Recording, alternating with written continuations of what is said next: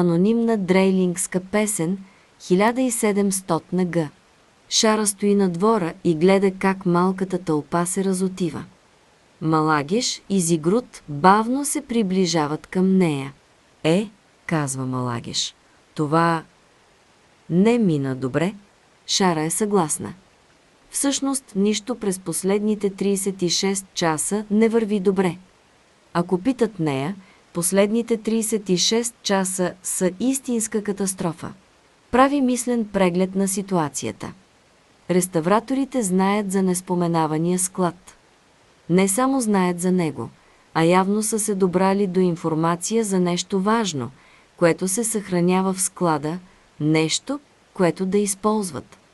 Въпросът е, мисли си Шара, дали вече са успели да влязат в склада? И ако е така, започнали ли са да използват намереното? Затова ли влязох в контакт с онова божество? И нещо още по-странно. Защо им е било да убиват пънгои, след като са намерили онова, което са искали от него?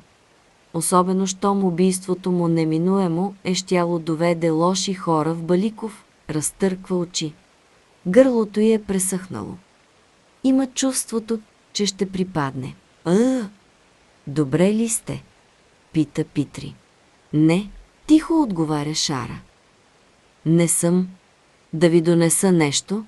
Шара се ощипва силно по ръката. Тъпата болка не успява да разчупи леда, обвил мозъка и спукаща кора. Не ми остава друго освен. Трябва ми нож, казва тя. Какво? казва Питри. Нож? Много остър нож. А, той е гледал плашено. И голям тиган. Малагеш крива глава. Какво? Също две глави лук, магданос, сол, пипер, черен и червен и около килограм и половина козе месо. Зигрут изпъшква и захлупва лице в шепи. Шара тръгва към сградата на посолството, без да погледне към секретаря си. Хайде, казва и им махва да я последват. Какво? пита Малагеш. Какво става, мамка му? Зигрут измърморва нещо под нос, но накрая все пак обяснява с неохота. Когато е много ядосана, готви. Шара спира и посочва Зигрут, без да се обръща. Още ли си във връзка с информаторите си? Разбира се, казва Зигрут. Искам да проследят Торскени и Уиклов. И да докладват на всеки час. Не искаш ли аз да го направя? Пита Зигрут. Ти ми трябваш тук, казва Шара. Тръгва по коридорите на посолството. Време е да анализираме някои неща. Какви неща? Пита Малагиш. Мъртви неща, казва Шара. Неща, които би трябвало да са мъртви. Колко ли е приятно да си нож, винаги готов да поемеш пътя на най-слабото съпротивление, винаги насочващ се към слабите места, да потъваш в кожа и жили като стръкче трева, понесено от речното течение. Ножът се плъзга леко и оставя купчинки от парченца портокалова кора, лимонова кора, пъпешова кора, някои малки и безформени, други на дълги спирали. Впива се бавно в месото, разделя кръвоносни съдове и мускули, сухожилия и мазнини, раздробява козешкия котлет, докато той не загуби всяка прилика с част от живо същество. Трябва ти само остър нож и хубав тиган, мисли си Шара. С тези простички инструменти човек може да създаде всичко, драсва клечка кибрид и я приближава към газовия котлон. Лумват пламъци и облизват тигана. Тя слага в съда малко олио и взема едната глава лук. Първоначално са били шест, тихо казва Шара. Светлината от газовия котлон танцува по лицето й. Или поне шест са оповестили присъствието си. Олвос – светлоноската. Колкан – съдията. Вортя – дамата воин. Аханас – сеячката. Юков – шегобиецът, пастират на скорците. Ита Алхаврас – строителят. Малагеш свива дясната си ръка в юмрук и кокълчетата изпукват хорово. Това го знам. Всички го знаят. Знаеш част от него, казва Шара.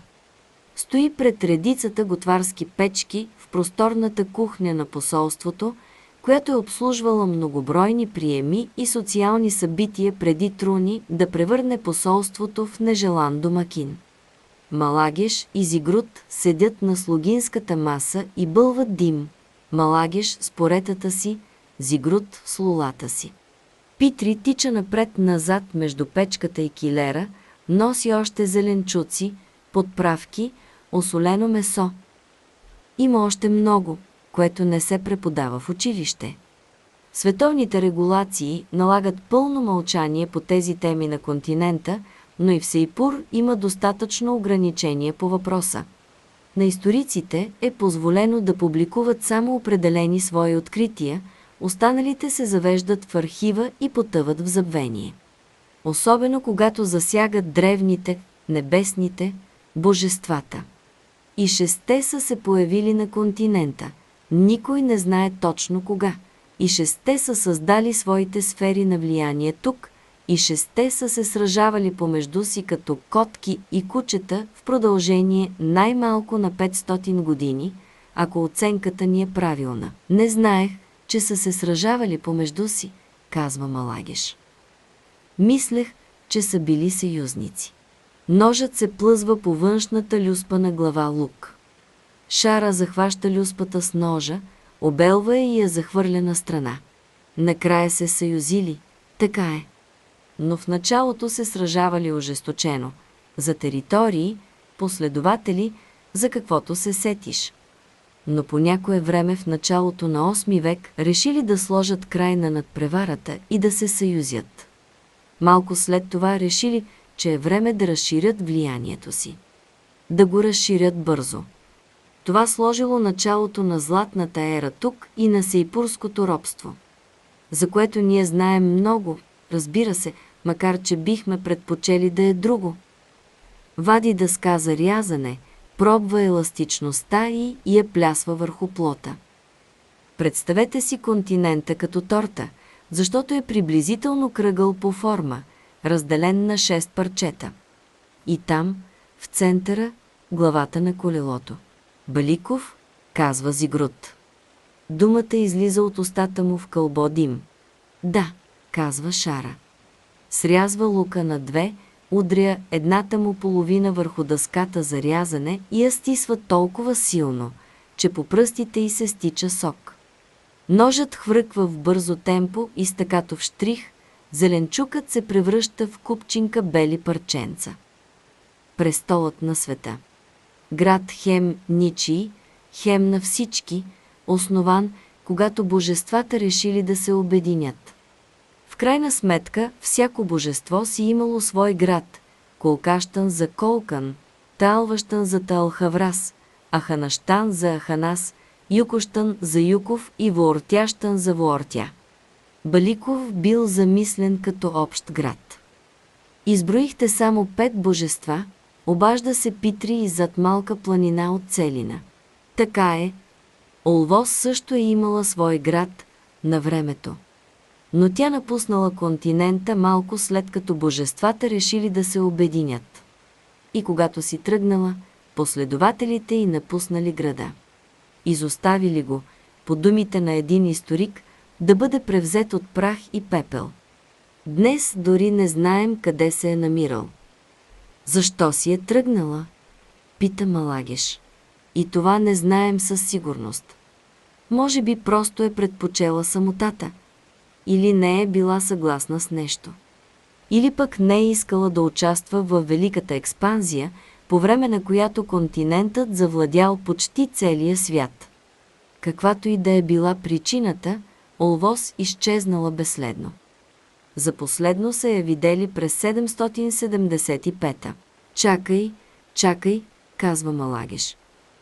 Значи през всичките тези години е било ясно, че едно от божествата може още да съществува.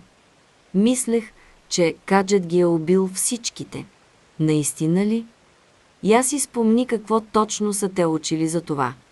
Конкретно, за всяко от божествата, Шара отброява на пръсти. Каджът убива в Сейпур в нощта на червените пясъци. Тълхаврас и Аханас убива, когато войската му стъпва на континенталния бряг. Аюков убива тук, в Баликов. Казвал ли ти е някой къде и кога е била убита Улвос? Или Колкан?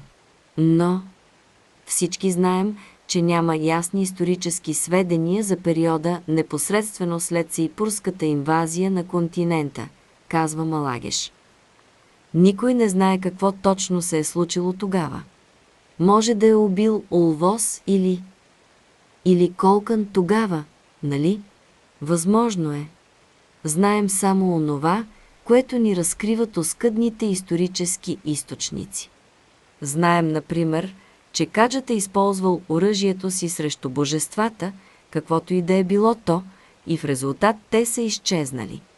Но това не означава непременно, че са напълно изчезнали от настоящето ни. Някои чудеса все още са активни. Божествата не са напуснали напълно континента, без значение какво ни се иска на нас.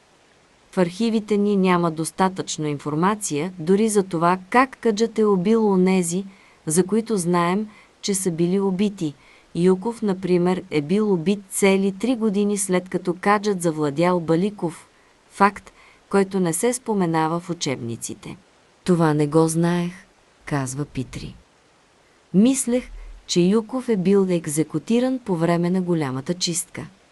Така са ни учили в училище.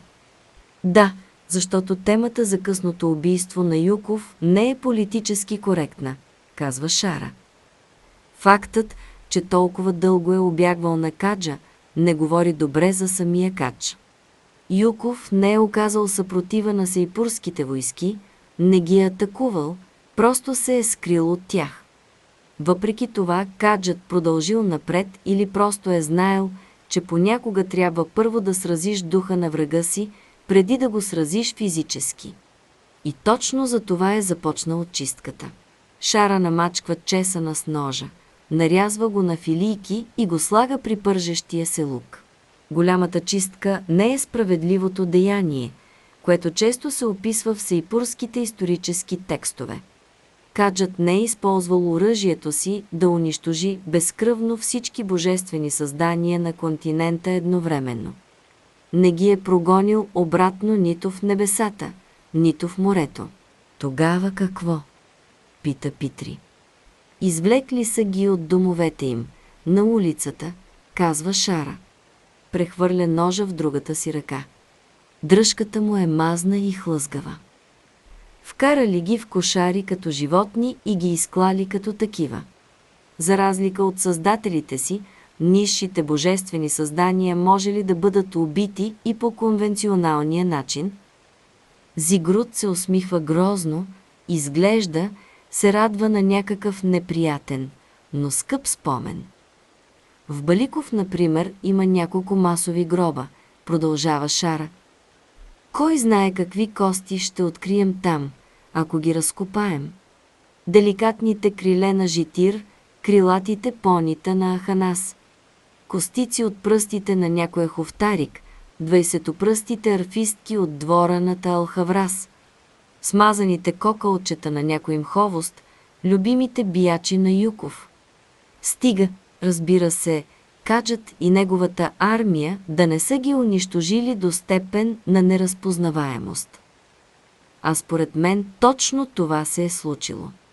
Сигурно са се чувствали напълно в правото си. Нима всички сейпурци не са живели под бутуша на тези създания. Нима не са били те опасни чудовища. Но един войник е описал писъци на болка от към кладите, пише също, че някои от онези създания приличали на деца и се държали като деца, молели за милост.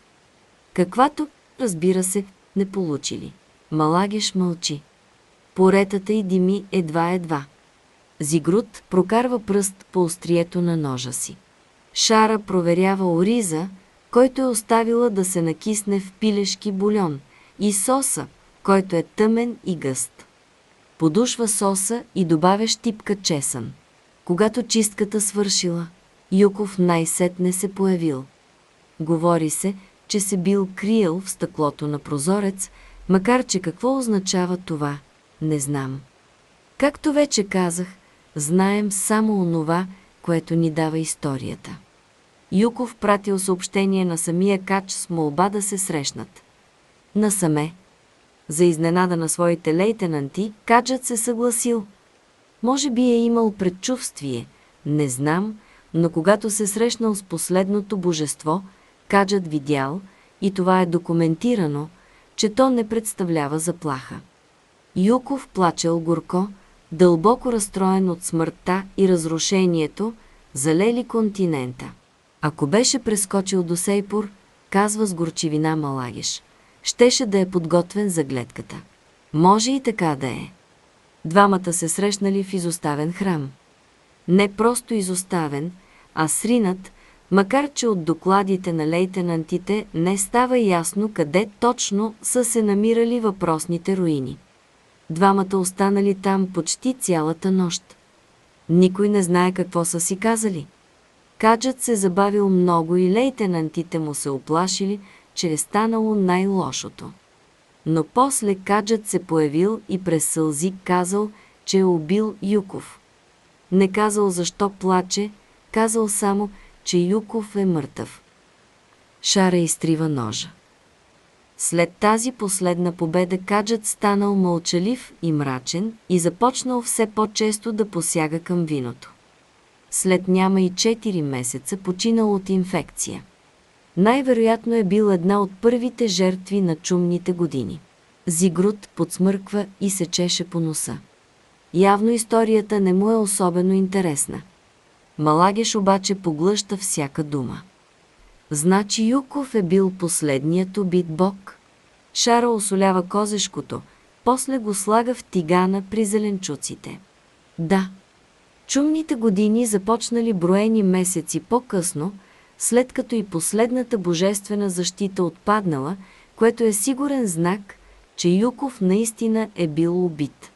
Малагеш мълчи замислено, после казва – Адски странно звучи да изброяваш божествата, сякаш са заподозрени в кражба. Сякаш можем да ги наредим до стената, да доведем жертвата и тя да ни посочи извършителя. Значи единствените богове, чиято смърт е потвърдена, или поне тези, чиято смърт е настъпила пред очите на свидетели. Са Вуортя, Талхаврас, Аханас и Юков. Така изглежда. Значи остават Олвоз и Колкан. Да, за Колкан не каза нищо. Така е. Знаем доста за него и за делата му, но не и за края му. За края му никой нищо не знае. Смятаме, че дори на континента никой никога не е научил нещо за това. И той ли си е тръгнал като улвоз? Пита Питри. Шара си ми е ръцете. Не, не си е тръгвал. Или поне нямаме данни да го е правил. Тогава какво е станало с него? Шара поглежда часовника. След 20 минути яденето ще е готово. Това, казва тя и сяда, е друга история. Казват, че Кулкан бил богът на справедливостта и реда. Той бил човека от камък, онзи от високите места, далечния пастир. Изобразяване по различни начини – но доминиращият образ е на мъж, който седи върху планина и е протегнал ръце напред с дланите нагоре. Готов, един вид, да претегли, да балансира, да отсъди. Бил е най-активното от шесте божества. Юков е правил номера на смъртните си последователи, превръщал ги в животни, понякога във вълци, но най-често в скорци, а понякога стигал до там да ги забремени – без значение от пола им, вярвате или не. Питрия зяпва с отворена уста, но Шара продължава. Тал Хаврас и Аханас, като строителя и земеделката, имали по-масштабни задачи и рядко се занимавали с отделни представители на човечеството. Олвос, както знаем, предпочела да си тръгне. Колкото до Вуортя, тя била доста активна по свой си начин, най-вече в празненствата и плечкосването. Но никой от тях не може да се сравнява с Колкън, който бил дълбоко заинтригуван, да не кажем вманиячен, от делата на смъртните. Шара разбърква внимателно месото. Пластината се топи, цвърчи и пръска. Тя дръпва бързо ръка, преди врялата мазнина да я е опарила. Колкън искал само едно от своите последователи – да водят добър и подреден живот. След като основал град Колкаштан, той казал на последователите си, че могат да идват при него с всякакви въпроси, с всякакви тревоги и той щял с радост да им даде отговор, да отсъди в споровете им, да им помогне. И те се възползвали с ентусиазъм от предложението. Има писмени сведения за опашки от хора, дълги 5, 10, 15 мили. За хора, които припадали от глад и изтощение, разболявали се и остарявали, докато чакат. Историческите сведения не са напълно ясни, но изчисленията показват, че колка не изслушал милиони, отсъждал е денем и нощем, седейки на едно място в продължение на 160 години. Моретата да са ми на помощ, мърмори Малагеш. Да, казва Шара. Историците са съгласни, че това вероятно се е отразило на Колкан. Накрая той си дал сметка, че този процес е неефективен. Затова сложил край на своето еднолично правораздаване, излязъл от храма си и започнал да създава закони, базирани на наученото през предишния период. Зигрут вади пушен свински бут от килера. Сяда, отрязва парче с ножа си и започва да го дъвче. В рамките на две години Колкън написал 1200 закона. Според нашите съвременни стандарти, неговите закони изглеждат меко казано странни. Да не се слага един вид камък върху друг вид камък. Жените да не си сплитат косата по определен начин. Тези и тези часове от деня са подходящи да се говори, а другите – да се мълчи. Тези меса могат да бъдат пушени, другите не могат. И така нататък, и така нататък изглежда логично обикновените хора да се разбунтуват, да отхвърлят тези глупави закони или поне да се опитат. Но колкащаните не го направили. Те посрещнали правилата с радост всичките 1200.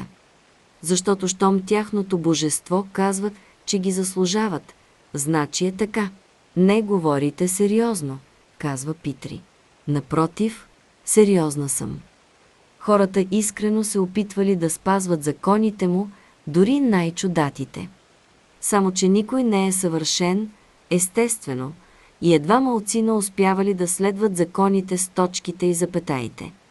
Хората обичали друг да им казва какво да правят, затова никой не се усъмнил в справедливостта на законите. Те били закони все пак, божествени при това. На някакъв етап Колкън решил, че проблемът е другаде, че хората нямат достатъчно силен стимул да следват законите. Шара вдига капака на тенджерата с ориз. Издига се пара и замъглява очилата й.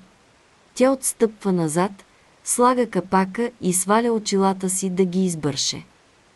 Така се появило наказателното писание. Един въздълъг и постоянно редактиран документ, в който се описвало как хората да бъдат – насърчавани да следват законите. С течение на времето се забелязва все по-ясна тенденция към, как да се изразя, към плътски страдания. Плътски, повтаря Малагеш, бичуване, жигосване, осъкътяване, ослепяване, ампутация за най-тежките престъпления. На кръците им отрязвали дясната ръка и прочие. Никога смърт обаче. Колкън бил обявил, че животът е свещен. Самият той не искал да нарушава тази си прокламация.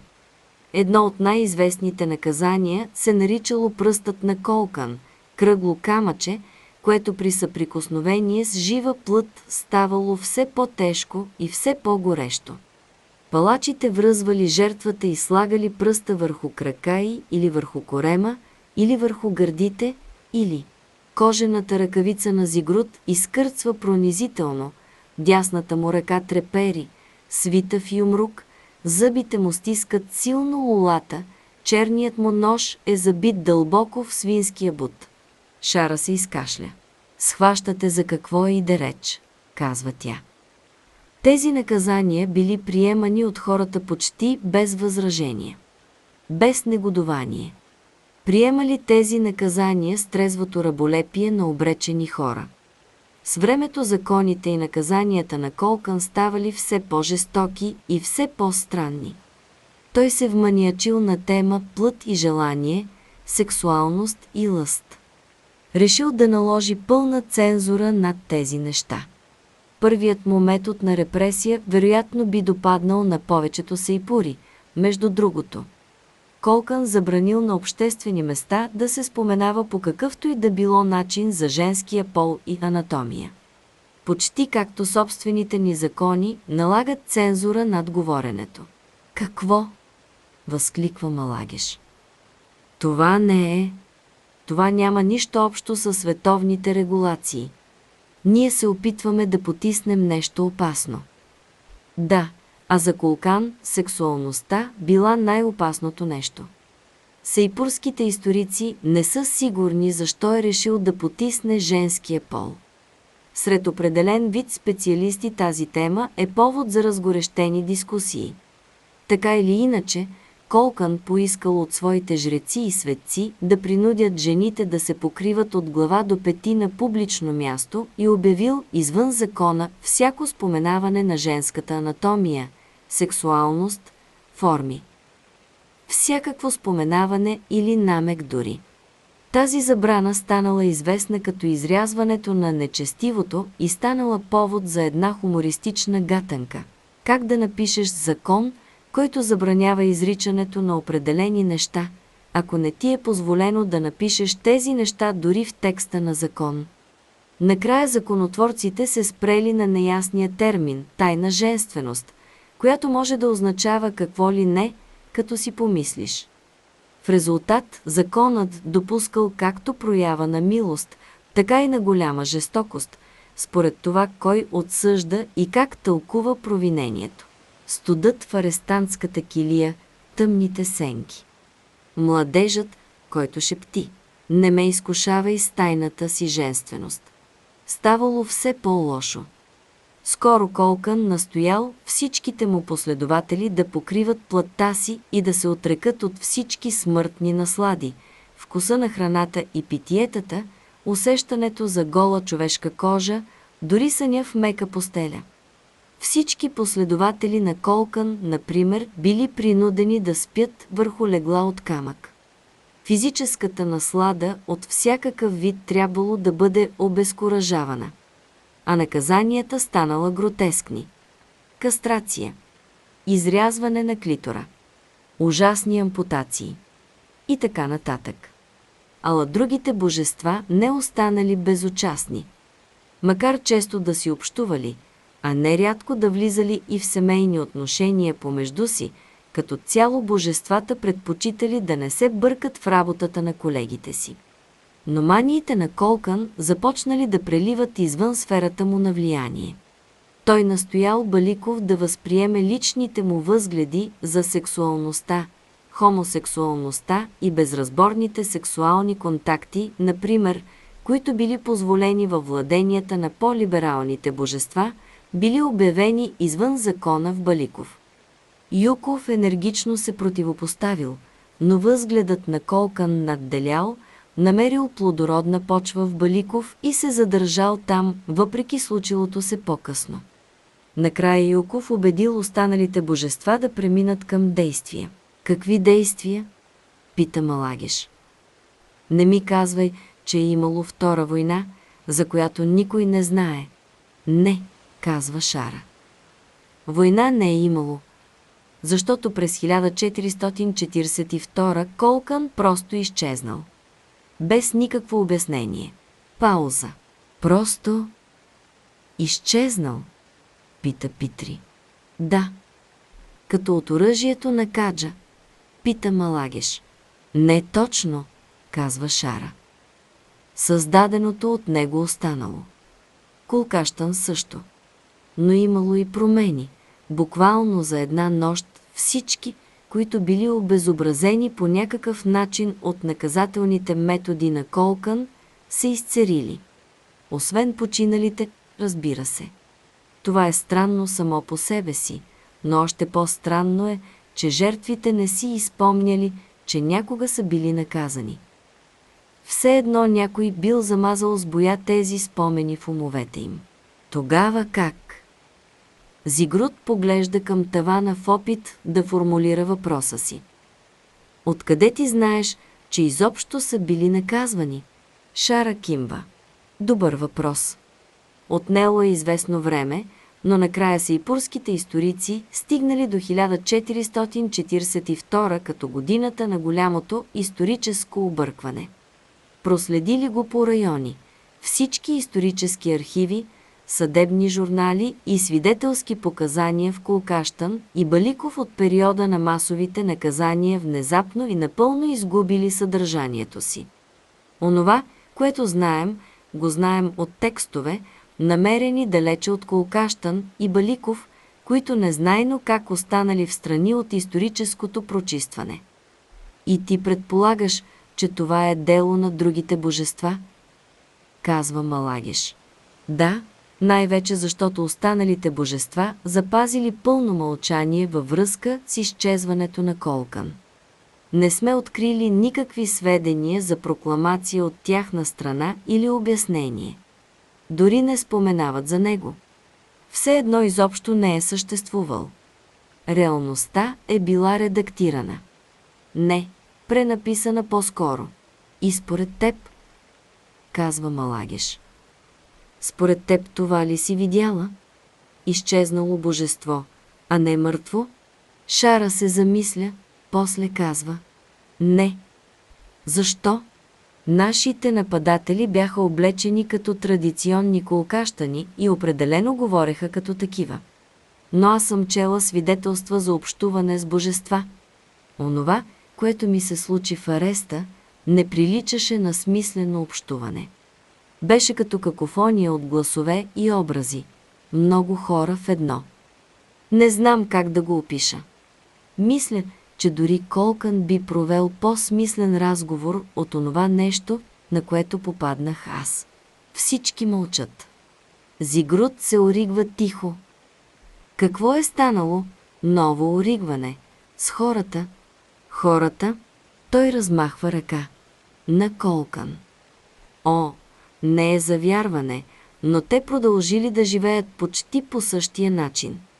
Носили колкащански роби, следвали предписанията на Колкан, дори прилагали до някаква степен наказателното писание.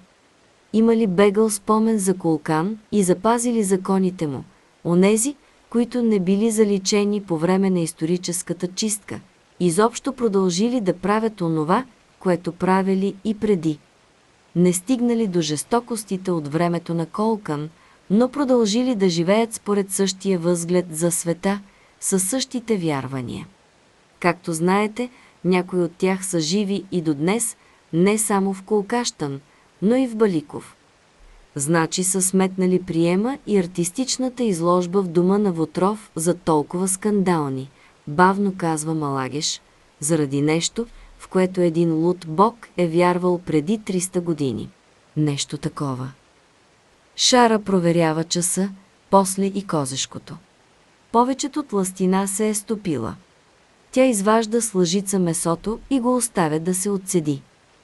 Тези неща имат нещо общо с инерцията, казва тя. Започнеш ли, трудно е да спреш.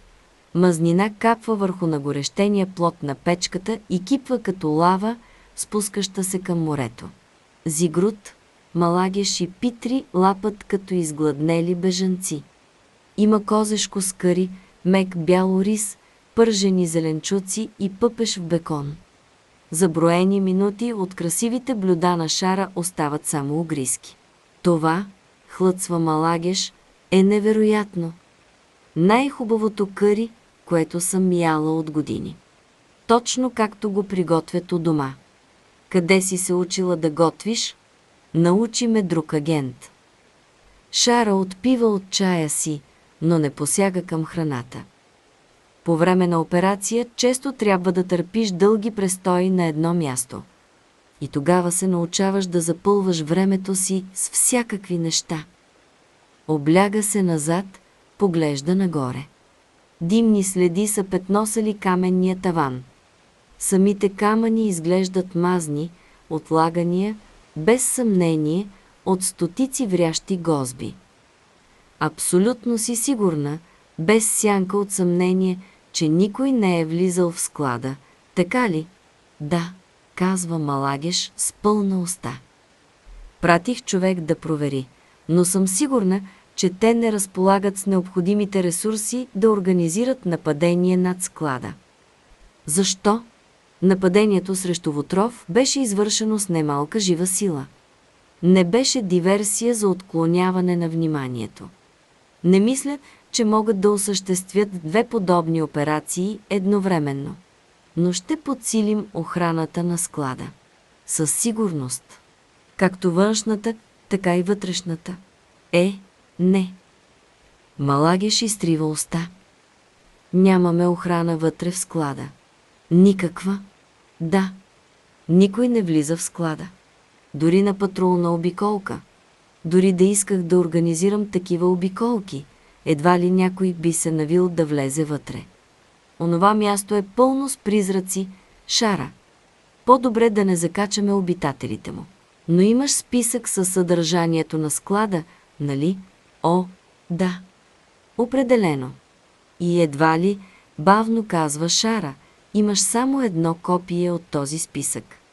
Така де Ефрем ме от части от списъка за проучване, затова изглежда логично да имаш резервно копие, в случай, че нещо се случи с оригинала. Имаме го в два екземпляра, да. На къде биеш? Ще ти кажа на къде бия, бавно продължава Шара. Ирина Торскини ми каза, че е преписала стотина страници от списъка, преди реставраторите да открият в преписите и нещо важно, или онова, което са търсили от самото начало, или нещо друго, което са сметнали за полезно. И, и, знаем, че са проявили интерес към последните няколко страници. След като са открили търсеното, или онова, което са сметнали за полезно, са и казали да не преписва повече. Според Ирина това се е случило през месеца на това. Значи трябва само да проверим кои части от списъка е проучвал Пънгуи в посочения период. И ще разберем какво са намерили реставраторите. Разбира се, мама му стара, това е гениално. Не, просто стеснява търсенето ни от игла в купа сено до игла в малко по-малка купа сено, казва Шара. От малкото, което Ирина ми каза за списъка, излиза, че на всяка страница е имало десетки вписвания. Значи ще намалим бройката на вписванията, които да проверим от хиляди на... Колко? Може би само няколко стотин. Малагеш провесва нос. Няколко стотин. Все е някакво начало, казва Шара. А като говорим за Ирина, обръща се да погледне Зигрут. Следим я, казва той. Сигурен ли си в хората, които си наел? Знам колко им плащаме, казва Зигрут. Задачата е съвсем проста, така че не очаквам проблеми. Докладваха ми, че се е върнала в къщата си. Завели я до там и я оставили. Сама. Следим я. Гледай да не я изпуснеш. Тя е една от последните ни стабилни нишки. Трябва да държим под око и Уиклов. Следим го, казва бавно Зигрут и измъква ножа си от пушения свински бут. Шара потропва с пръсти по чашата си. Има една поговорка, седи върху уликите си, натискай ги, докато не се пропукат под тежеста ти. Ако не ядеш, докато работиш, а само пиеш чай, казва Малагеш. Съветвам те да минеш на кафе. Непосредственото ни бъдеще изглежда пълно с работа, а кафето е по-силно. Кафето ободрява тялото, казва Шара. Чаят ободрява душата. Толкова ли е наранена душата ти? Шара не отговаря. Няма ли да хапнете? казва Питри. Скоро ще сме умели всичко. Не, толкова ядене не можем да изедем, казва Малагеш. Ме-ме, не, отговаря разсеяно Шара, защото мисли за друго. Защо? Не сте ли гладна? Не е там въпросът. Оказва се, казва Шара и посяга да си налее още чай, че вкусът на карито твърде силно ми напомня за дома.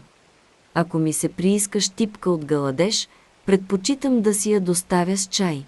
Ковчегът се побира идеално в транспортния съндък. От всяка страна остава по два пръста разстояние. Колко ли е голям пазарът на съндъци за транспорт на ковчези? Мисли си Шара. Много хора ли умират в чужбина? Искате ли да го заковем? Пита началникът. Той и тримата му работници дори не крият нетърпението си. Не още, тихо отговаря тя. Докосва капака на ковчега. Лакиран чам, нещо, което повечето сейпури не получават за погребенията си. Бихте ли ми дали минутка? Моля. Той се колебае. Ами, Влакът за Ханащан тръгва след един час. Ако закъснее заради нас, ще трябва да платите неустойка, разбирам. Ако закъснеете заради мен, ще ви възстановя разликата, обещавам. Само минутка. Моля ви. Началникът свива рамене, махва на хората си и Шара остава сама в уличката зад посолството би трябвало да има някаква по-съществена церемония от тази, но това се случва рядко. Колегата и агент в Джаврат, минният надзирател, когато привлякоха за информатор в Колкащан, амбулантният търговец от Юкощан, който чукаше от врата на врата, продаваше фотоапарати и правеше снимки на обитателите уж като част от занаята си. Нито един от тях не е могла да изпрати подобаващо те все още бродят в ума и, както са бродили и в живота. Ако можех да си ида от дома заедно с теб, казва тя на ковчега, за да те изпратя както трябва, щях да го направя.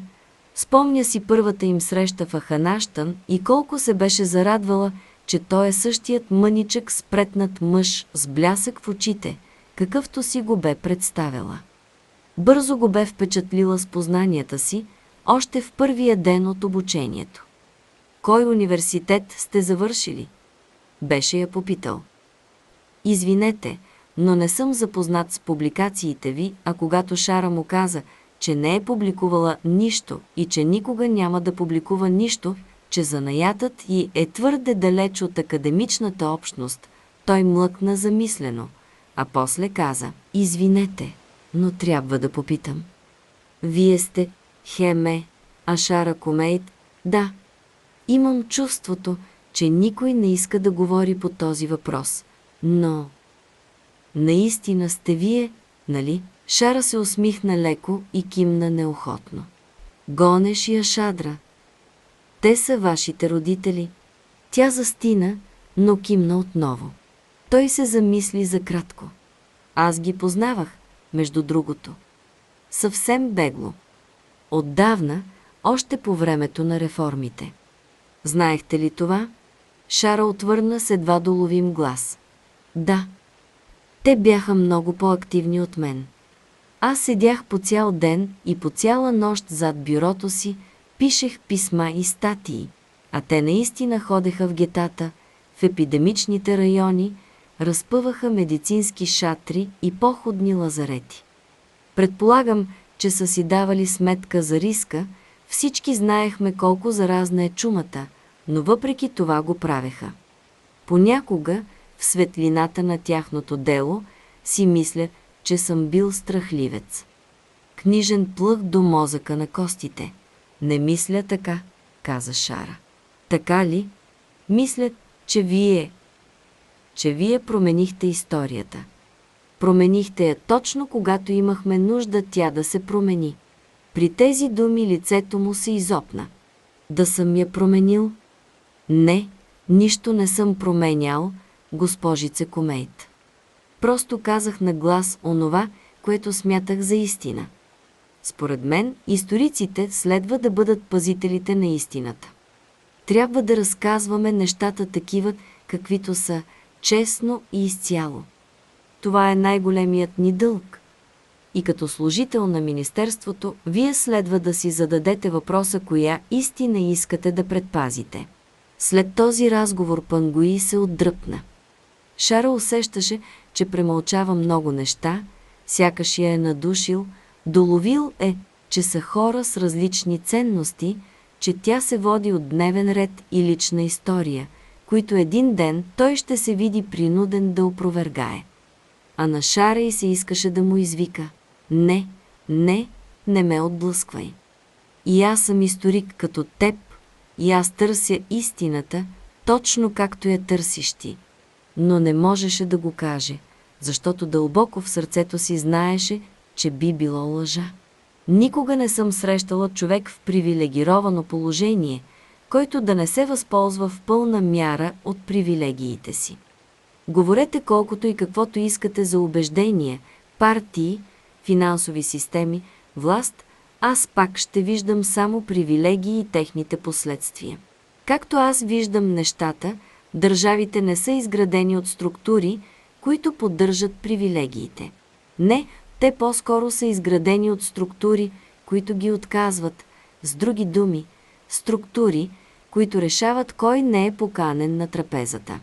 За жалост, хората често допускат предразсъдъци, стари сметки или суеверие да диктуват отказа на тези привилегии.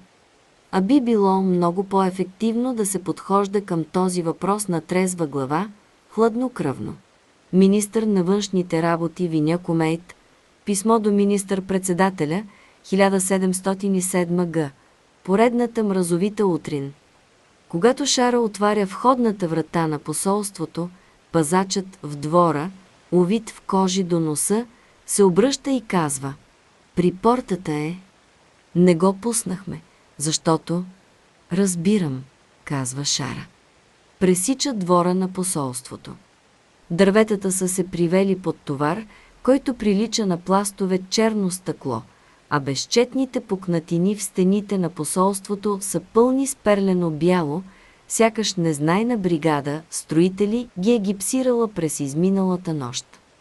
Голямата чаша кафе в ръката и влачи шлейф от пара след себе си като мехурчета след отплаващ кораб. Шара се замисля колко различно изглежда всичко сега, през деня, чисто, мразовито и бляскаво, в сравнение с предната вечер, когато Уиклов лаеше през решетките на портата като куче пазач. Портите се отварят с дрънчене. Момчето стои на алеята пред тях и държи сребърен поднос. Облечено е с слугински дрехи и изглежда от доста време е навън, на студа, горната му устна влащи от замръзнал сопол. Ако не трепери толкова силно, изражението му сигурно би минало за усмивка. Посланик Тивани. Кой си ти? Пита Шара. Аз имам съобщение за вас. Протяга към нея сребърния поднос. В средата му има малка бяла картичка. Шара я взема несръчно с премръзналите си ръце и примижава да прочете ситния текст.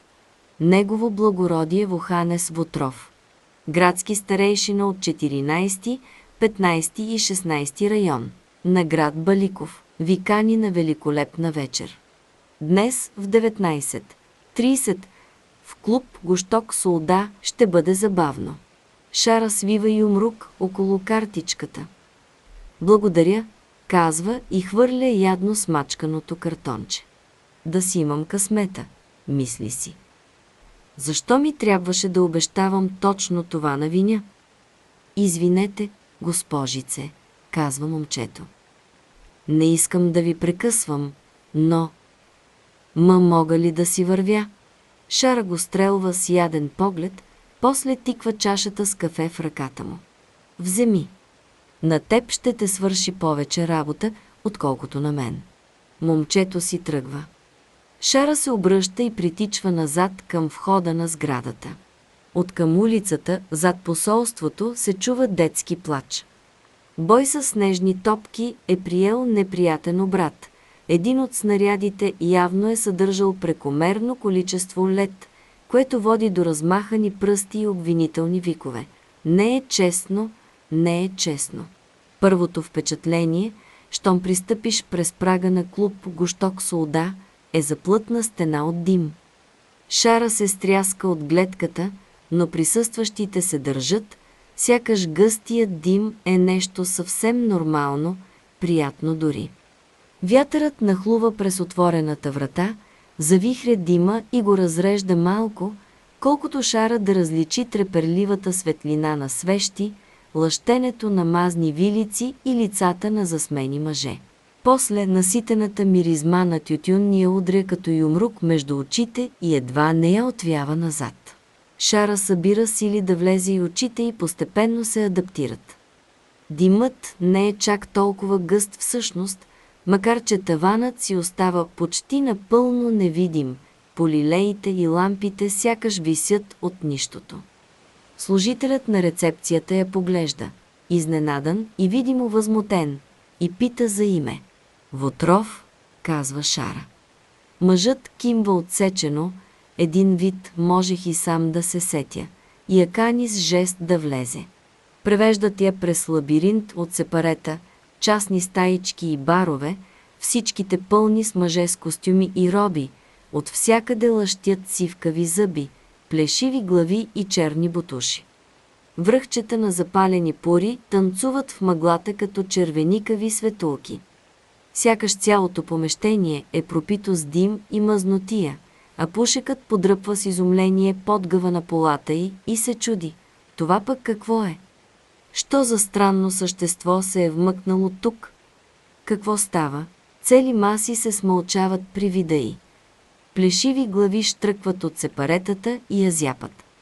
Ами да, мисли си Шара, аз съм двойно неприемлива тук. Хем жена, хем се и пури. Кадифена завеса се отмества и тя влиза в голямо помещение в дъното. На маса с размерите на речна баржа седи Воханес, наполовина скрит зад вестник с размерите на палатка, полуизлегнат в кресло с меката пицерия и възглавнички, вдигнал крака на масата. Бутушите му са светло кафяви и каони. Зад него на хубави столове седят сейпурските му телохранители. Един от тях вдига поглед към шара, свива рамене и махва извинително, сякаш да каже «Идеята не беше наша вестникът, истински чершав, се смъква леко. Шара зърва над горния му ръб едно синьо око, после палатката от хартия и печатарско мастило се срива напълно. Вохане скача енергично, доколкото му позволява болката в ставата и се покланя. Госпожи Цетивани, би бил чудесен церемониал майстор на прием с бални танци. Не сме се виждали само от два дни, казва тя. Няма нужда от такива церемонии. О, напротив, има и още как. Особено когато имаш среща с... Как беше онази поговорка? Врагът на моя враг е мой. Какви ги приказваш, Во? Взе ли онова, за което те помолих? О, взех го. И беше крайно забавно, между другото. Но преди това Воханес плясва два пъти. По ръкавиците му, от бяло кадифе, има следи от печатарското мастило. Бихте ли ни донесли две бутилки джанково вино и поднос сохлюви? Сервитьорът се покланя като играчка с пружинен механизъм. Охлюви, казва Шара. А вие, господа, обръща се Воханес към своята си пурска охрана. Искате ли нещо? Да хапнете, да пинете. Един от телохранителите отваря уста, улавя погледа на Шара, премисля отговора си и поклаща глава отрицателно. Както искате, заповядай. Вухане си сочи с театрален жест стола до себе си. Седни. Толкова се радвам, че успя да дойдеш. Сигурно си ужасно заета. Избрал си интересно място за срещата ни. Гледат ме все едно съм прокажена, че и по-лошо. Ами, сметнах, че този път може да се срещнем в моята месторабота за разнообразие. Това място може и да прилича на дупка, където се събират малоумни старци, госпожице Тивани, но всъщност е родилното и моргата на баликовската търговия. Ако си представим финансовите потоци като златна река с множество притоци, то тук, точно тук, сред тютюневия дим, вулгарните шеги, вареното телешко и плешивите темета, се намира най-големият, най-дълбокият и най-опасният и водовъртеж. Каняте да видиш със собствените си очи паянтовия осран кораб, който влачи местната търговия към морето на благоденствието. Имам необяснимото усещане, казва Шара, че не ти е приятно да работиш тук. Нямам избор, казва Воханес. Така стоят нещата. И макар, че изглежда като една сграда, всъщност са няколко. Всички къщи в Баликов са разделени, сърдитке моя, а тази къща е направо раздробена. Бих могъл да маркирам с цветен код всяко сепаре според партийната му принадлежност. Или да начертая линии по пода, стига изкорубените дъски да го позволяваха, линии, които някои членове на клуба не биха пресекли с цената на нищо. Ала напоследък този клуб, както и самият град, започва да се пренарежда около две основни групи.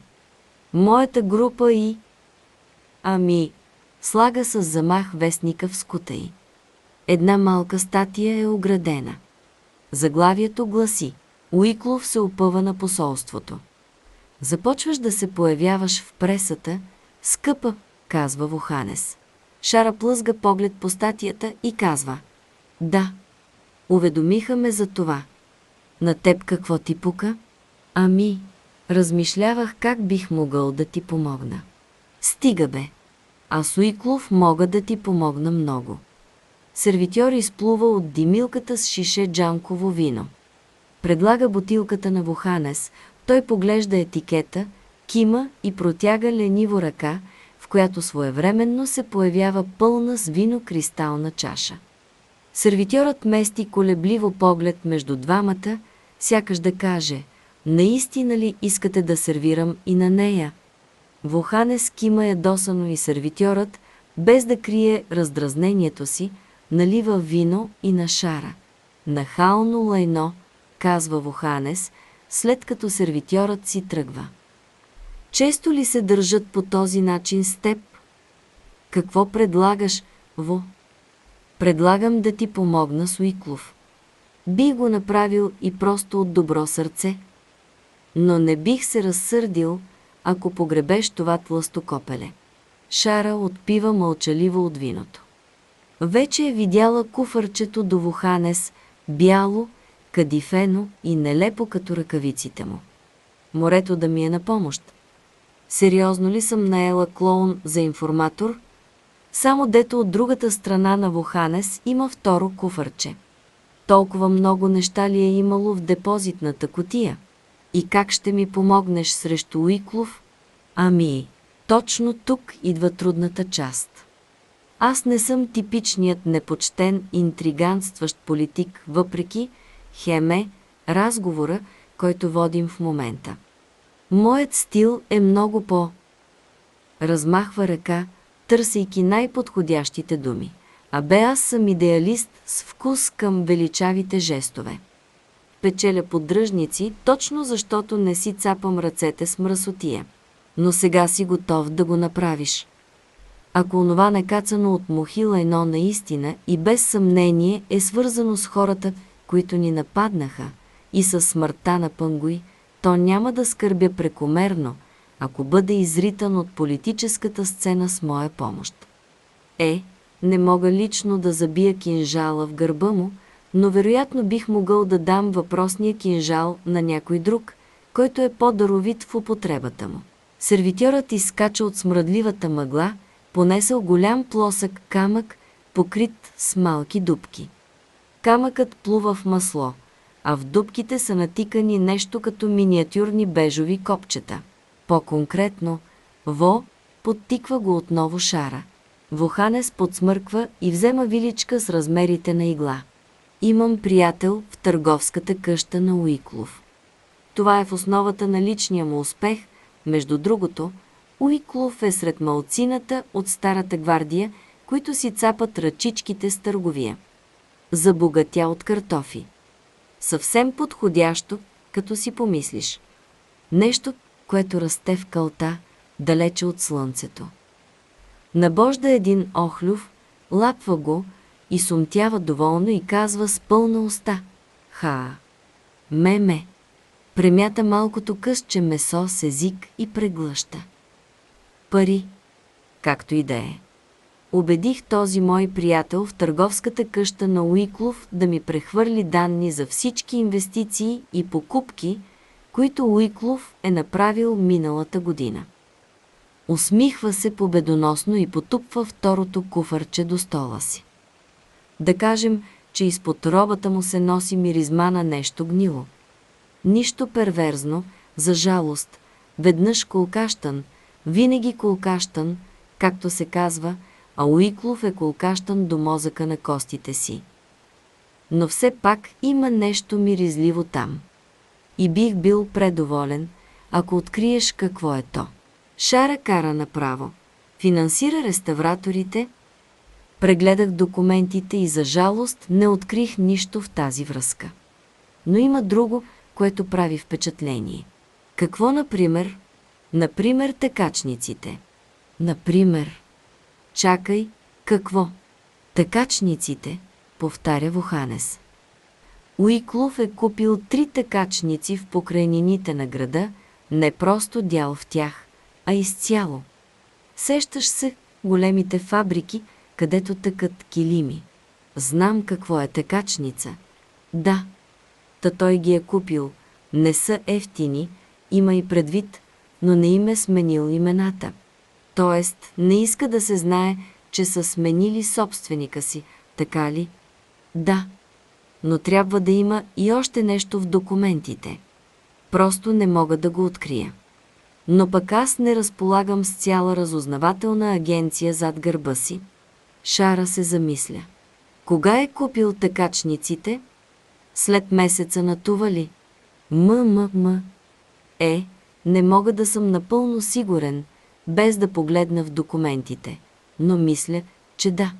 Интересно, мисли Шара. После пита, доколко надежден е източникът ти? Много надежден. Да, но колко? Воханес се колебае. Познавам го в лично качество, отблизо, казва бавно. Това би трябвало да отговаря на въпроса ти. Шара отваря уста да задълбае, но после съобразява какво е намекнал Воханес, кашля смутено и казва «Разбирам». Гледа го как отпива от виното. Той се поти, блед е, внезапно и се струва набръчкан и мек, деликатен като фино тъкан лен. Слушай, Во, аз ще ти дам нещо, което рядко давам на доброволни източници като теб. И какво е то? Ще ти дам шанс да си промениш мнението. Какво? Ще ти дам възможност да премислиш, казва Шара. Защото ако ми дадеш документите, аз ще ги използвам. Повярвай ми. Противното би било непрофесионално от моя страна. И когато ме попитат откъде съм ги взела, а определени хора със сигурност ще ме попитат, ще трябва да отговоря. Не мога да предскажа какво ще се случи, но след като свалим картите, има голяма вероятност някой ден в бъдещето, на някакъв публичен и лесно достъпен форум в Сейпур – някой да свидетелства, че Воханес Вотров, градски старейшина на Баликов, е предоставил на Сейпурското правителство ценен материал с пълното съзнание, че въпросният материал ще доведе до унищожаването на друг градски старейшина. А такова нещо. Такова нещо си има последствия. Воханес е вперил поглед в пламъка на една свещ, който танцува валс върху фитила си. Виждала съм го това, продължава Шара. И преди съм губила източници по този начин. Аз използвам хората, во. Това ми е работата. Грозно е, знам. Има тежки последствия. И... И ако отново ми предложиш тези материали, аз ще ги взема, защото съм длъжна. Но искам сериозно да си помислиш какво би могло да те застигне, ако ми дадеш куфърчето. Воханес я фиксира с сините си очи. Сигурно и като кърмаче е бил със същите сини очи, мисли си тя. Ела да работиш за мен, внезапно казва той. Какво? Не ми изглеждаш особено щастлива в момента. Набучва един охлюв и духа да го охлади. По покривката капе разтопено масло. Ела да работиш за мен. Промяната ще ти се отрази благотворно. Ние не сме като старата гвардия. Нито една от компаниите ми не е такава. Ние правим големи нови неща. Освен това, мога да ти предложа безобразно добро заплащане. Шара го гледа невярващо, после избухва в смях. Не говориш сериозно. Напълно сериозен съм. Сериозен като смъртта. Аз... Аз няма да работя за теб. Во. Добре де, тогава поеми командването. Надига чашата, лапва още един охлюв. Ще ми спестиш куп главоболия. Управлявай компаниите ми. Направлявай парите ми. Аз просто ще си седя, ще ме избират в градския съвет и, знам ли, ще поздравявам хората по парадите или нещо такова. Шара се смее, захлупила лице в шепи. На какво толкова се смееш? Той прави храбри опити да изглежда сериозен, но усмивката го предава. Сериозно ти говоря. Ела с мен. Усмивката му угасва. Ела да живееш с мен. Шара спира да се смее. Примижава, простенва. О, во. Защо? Защо какво? Защо ти трябваше да го казваш? Имах предвид. О, стига де, имах предвид да живееш в Баликов. Не прозвуча така. А и... А и точно това ми предложи, когато завършихме колежа. Воханес поглежда смутено към сейпурските си телохранители. Дали бихте могли да... Е, да ни извините за мъничко, господа? Телохранителите вдигат рамене и излизат да застанат на пост пред вратата. Това... Очевидно не това имах предвид, Шара, казва Воханес и се засмива горчиво, отчаяно. За това ли ме покани тук? За хубава вечеря и предложения? Това не е хубава вечеря. Всичко има вкус на тютюн за Бога. Мълчание. Гърлен смях от към съседното помещение прераства в астматична кашлица. И да се върна, това няма да ни направи щастливи, казва Шара. Воханес, наранен, се обляга назад и забива поглед в чашата си. Аз не съм същото момиче, казва Шара. Ти не си същото момче, защо всичко трябва да е толкова? Трудно, казва той намусено. Ти си сгоден. А, да, сгоден. Вдига ръце, после ги спуска отново, сякаш да каже. И какво от това? Ние сме една много доволна двойка. Ходим по приеми. Вестниците пишат за нас, но ти не я обичаш. Някои хора се нуждаят от любов в живота си. Други – не толкова. То е като да си купуваш къща. Искате ли камина в салона? Искате ли прозорци в банята? Искате ли любов? За мен любовта не е от първа необходимост. Мисля, че това не е вярно. Е, не е като да имам избор, повишава глас той. Нали видя онези типове в сепаретата? Можеш ли да си представиш какво биха? Прави опит да се овладее.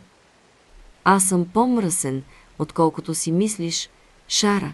Ти изобщо не знаеш какво е да си мръсен. Не ме познаваш. Взира се в нея. Устата му трепва. Сълза избива във вътрешното ъгълче на дясното му око. Мога да ти дам Уиклов. Той си го заслужава. Вземи го. Вземи го и го погреби. Тъжно е някак, че си готов да преследваш с такъв фанатизъм колкащаните. Той се изсмива горчиво, мрачно. А нима не го заслужават? Тоест, собственото ми проклето семейство. Ако искаш да си говориш с някого за гонение, защо не се обърнеш към хората, които са посветили живота си на това, дори сега, без своя? Оглежда се и снишава глас. Бог? Добре де, но те все още са твоят народ, нали така? Онези, на които искаш да помогнеш. Ти какво всъщност искаш, Во, да реформираш Баликов или да го сравниш с земята?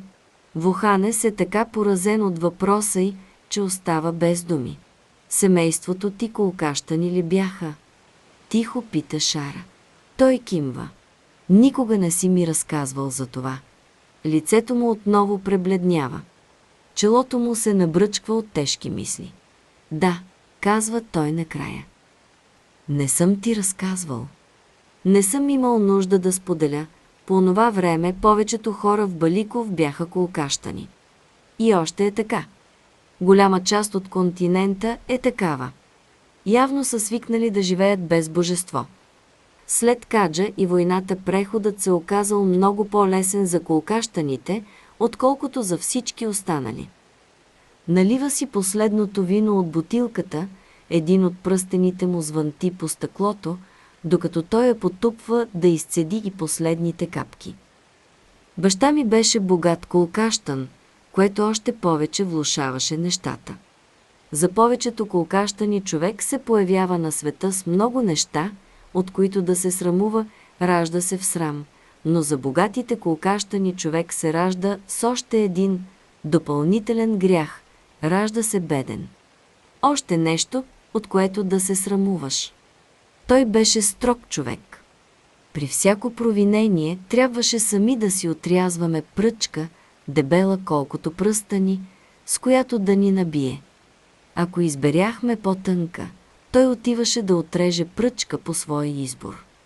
И макар във всяко друго отношение да беше скъперник, не се скъпеше на пръчки. Надига отново чашата. Брат ми го обичаше. И обичта им беше взаимна, струва ми се. Може би защото Волка беше по-големият, не знам. Баща ми принципно не обичаше децата заради нахалството им да не се държат като възрастни. А когато татко умря, брат ми никога не прости на никого. На света, на Сейпур най-вече, понеже ние, континенталите, смятахме, че Сейпур ни е докарал чумата. Беше на 15, когато се присъедини към група поклонници. Тръгнаха на поход към ледения север да търсят някакъв шибан храм. Остави ме на грижите на прислуга и бавачки, бях на 9 тогава. Така и не се върна. Години по-късно научих, че всички са загинали, цялата група. Замръзнали. В очакване на чудо. Воханес вдига чашата към устните си, което така и не се случило. Може би искам да съсипя Уиклов? Да. Може би той е пречка към бъдещето на континента, защото не си го представям как работи за светлото бъдеще на страната ни. Не, той винаги ще е втренчен назад, в мъртвото, глупаво, прашно минало. Така или иначе, точно за него не смятам да роня сълзи. Шара затваря очи.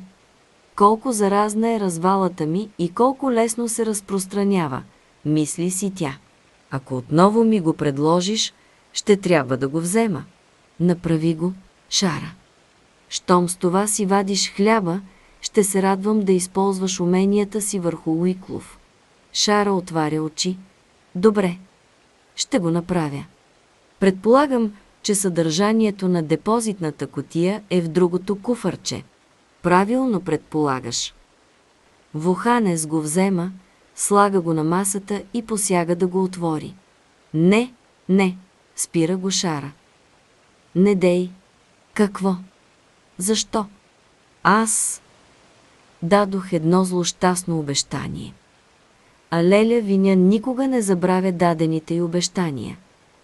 Както дадените, така и нарушените пита се дали е склонна към неподчинение, дали има смелостта да отвори куфърчето. Знае, че последствията ще са катастрофални, особено след заплахата на виня.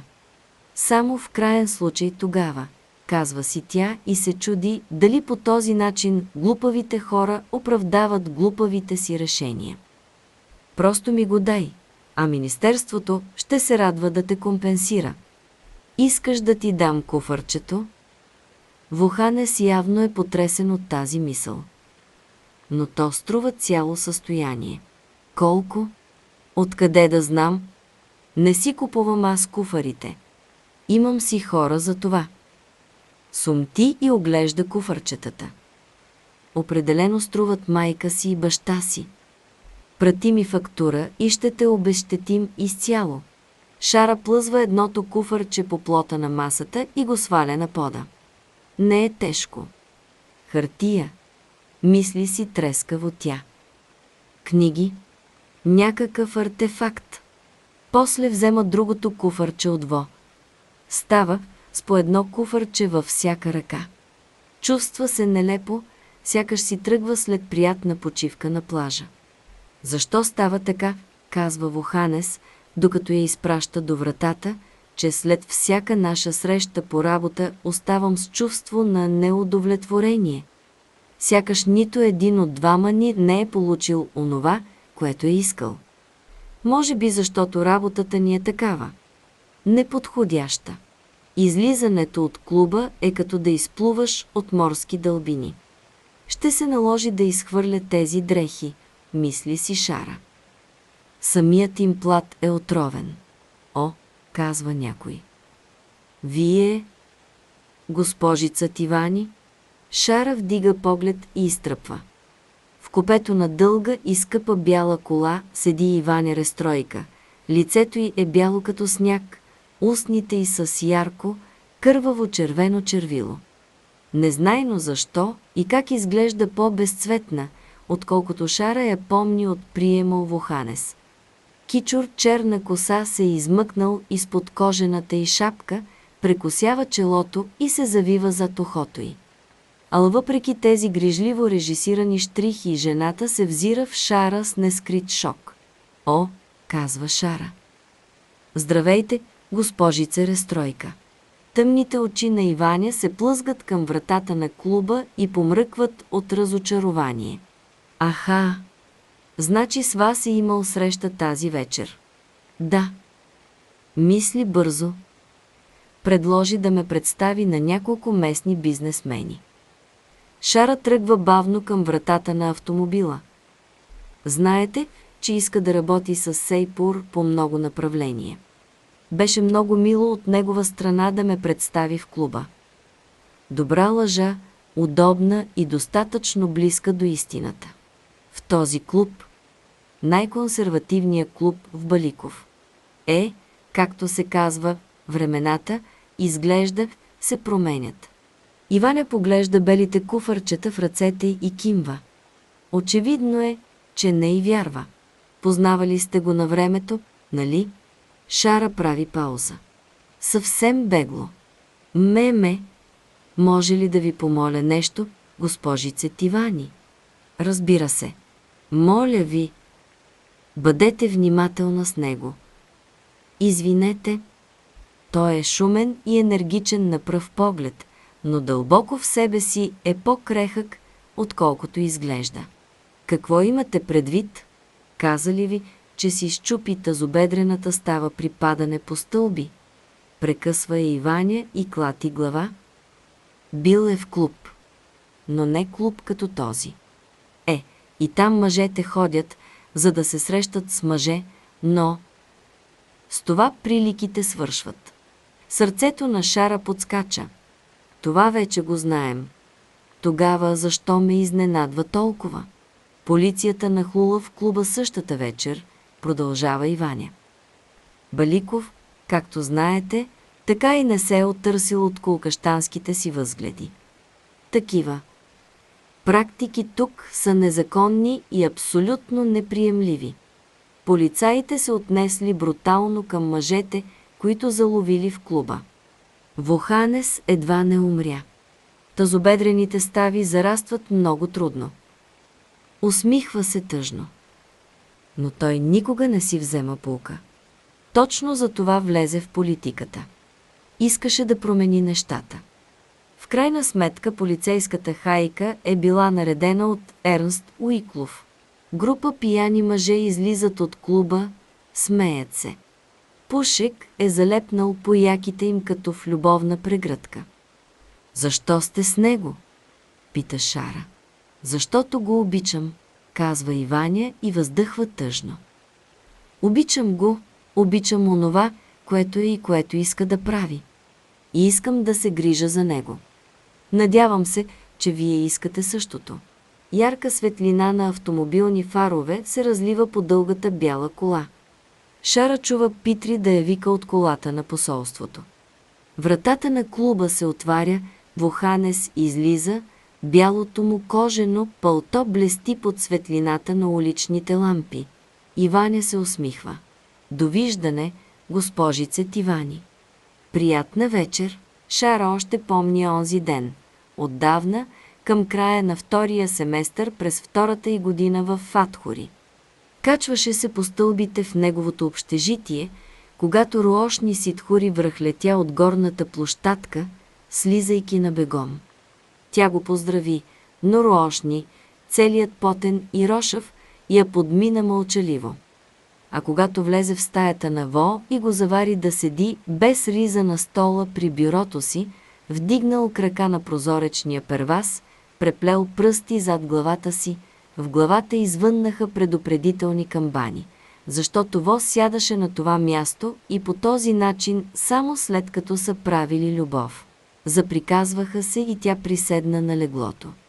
Огледа незабелязано чершафите и ги опипа. Бяха омачкани. И с вдлъбнатини като от колене. И още влажни от пот. Рошни едва не я беше съборил. Тичаше сякаш сградата зад него гори. Тогава не повдигна въпроса. Но започна да наблюдава. Винаги съм била такава, щеше да си помисли много по-късно. Вместо да променя собствения си живот, само наблюдавам и действам зад колисите, наблюдаваше колко много време Во прекарва с млади мъже, как ги прегръща. Наблюдаваше как ги наблюдава, как се променя стойката му, когато е близо до тях, става по-спокойна, по-естествена. Той съзнава ли го? Беше се питала тогава. А аз? Един ден не издържа и отиде без предупреждение в стаята му. Завари го с друго момче. Шара дори не му помнеше името, рой някой си. Завари ги да се движат бавно и нежно в същото легло, където преди няма и два дни Вои беше шепнал колко много я обича. Как се изопнаха лицата им, когато тя се изкашля. Момчето хукна към вратата, а Вои закръщя гневно. Тя стоеше и мълчеше. Искал бе и тя да му се разкръщи. Знаеше го още тогава, усетила го беше. Но тя не го направи, не му угоди. Това не беше спор. Тя нямаше нищо общо с направеното от него. По-истинско предателство не можеше да си представи. А най-лошото бе, че момчето много приличаше на нея. Шара никога не би имала и никога нямаше да има женствени форми. Фигурата й беше момчешка, с штръкнали рамене, малко дупе и бегал намек за гърди. Нима съм била просто заместител? Беше се питала по-късно. Начин да наподобиш забранена любов, без да си направил нищо забранено. Дори да беше така, тя все пак бе заместител, неадекватно подобие – в страни от естеството на истинската тръпка. Той умоляваше да каже нещо, да му отговори, да отвърне на удара. Но тя не го направи. Излезе от стаята му, а до голяма степен и от живота му до края на колежанския им престой. и до сега се гордее с това в някаква степен, че е запазила спокойствие, хладнокръвие, контрол. Ала в същото време се срамува, нима е била толкова шокирана, толкова оплашена, така минала в дълбока отбрана, че дори не е събрала сили да му изкрещи. Посветила се бе на учението, внезапно завладяна от патриотичен плам. Той дойде при нея скоро след завършването си, месеци след сблъсъка им, събрал багажа си и готов да потегли с влак към пристанището и оттам към Баликов. Умолявал я бе да тръгне с него, да му помогне да стане мъжа, който така отчаяно иска да бъде. Опита се да я подкупи, да й завърти главата с детски приказки, че можела да е принцеса, ако се съгласи да тръгне с него. А тя, цялата лед, цялата студена стомана, го беше наранила колкото изтигаха силите. Според мен, скъпо дете, ти не искаш принцеса, а принц. Но не можеш да имаш такова нещо у дома, нали? Там биха те убили, ако дръзнеш, преди да затръшне вратата в лицето му. Един ден ще разбереш, беше и казала Леля Виня. Ще проумееш себе си. И тогава всичко ще е наред. Един от малкото случаи, често си мисли Шара, когато Леля Виня не позна. Абсолютно не позна. Оцелели. Когато навлязох сред хълмовете близо до Юкощън, силно се изплаших. Луната беше жълтеникаво кафява като петно от чай. Хълмовете бяха стръмни, голи и бели, с къси разкривени дървета тук-там. А теренът бе толкова неравен, че опорито те тласкаше надолу, караше те да вървиш по долините, изгубен в мрак. Или такова поне беше чувството. Понякога зървах пламъци да танцуват по стволовете на кривите дървета. Имаше и крясъци в мрака, животни или хора, които се преструват на животни, или животни, които се преструват на хора. Понякога имаше гласове. Ела с нас. Шепнеха те. Ела танцува и с нас. Не, рекох аз. Аз имам задача. Имам товар. Трябва да предам товара си лично на Юков и на никой друг. А те се смееха. Как ми се искаше да съм си в Талващан. Да съм си у дома. Свети Тревски никога да не ми бе поверявал този товар. Ала ме мъчеше и любопитство. Не знам дали беше заради гласовете по вятъра, заради кикотенето от трептящите дървета или заради светлика на жълтата луна, но Юкощън беше за мен място на скрити неща, на безконечна мистерия и аз тайничко исках да науча повече. Завих и се озовах в долина, пълна с малки кожени шатри. В центъра гореше голям огън. Хора танцуваха около огъня, крещяха и пееха. Лепнах се за едно дърво и гледах ужасена как хора се съвкопяват трескаво върху песъчливата земя. Чух стъпки зад себе си. Обърнах се и видях старец с царска дреха да стои на пътеката. Косата му беше сплетена и вързана така, че да стърчи над главата му, каквато беше модата по онова време сред талващанските господа. Той се извини, задето ме е стреснал. Попитах го какво прави тук и той отвърна, че е търговец от Баликов. Виждах, че мисли и мен за търговец заради товара ми. Дива работа, нали? Каза той и кимна към хората около огъня. Казах му, че не разбирам как може да живеят така. Вярват, че са свободни, каза той, но всъщност са роби на страстите си. Каза ми, че палатката му е наблизо и добре скрита и ми предложи подслон. Струваше ми се мил старец, затова приех и тръгнах след него между кривите дървета. Докато вървяхме, той каза, понякога ми се иска да съм по-млад. Защото съм стар не само в тяло, тежи ми не само слабостта на остарялата плът, а и многото неща, които съм научил през годините. Понякога си мечтая да имах смелостта да съм толкова млад, толкова шумен, толкова свободен от окови и тегуби. Казах му, че трябва да се гордее с себе си, задето е доживял до такава възраст, без да се поддаде на развалата. Изненадан съм, каза ми той.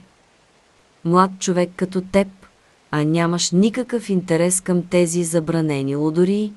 Отговорих, че те ме отвръщават, което си беше лъжа и аз го знаех. Не се ли питаш дали робията пред собствените страсти не би могла, поне в някаква степен, да те освободи? Усещах, че се потя.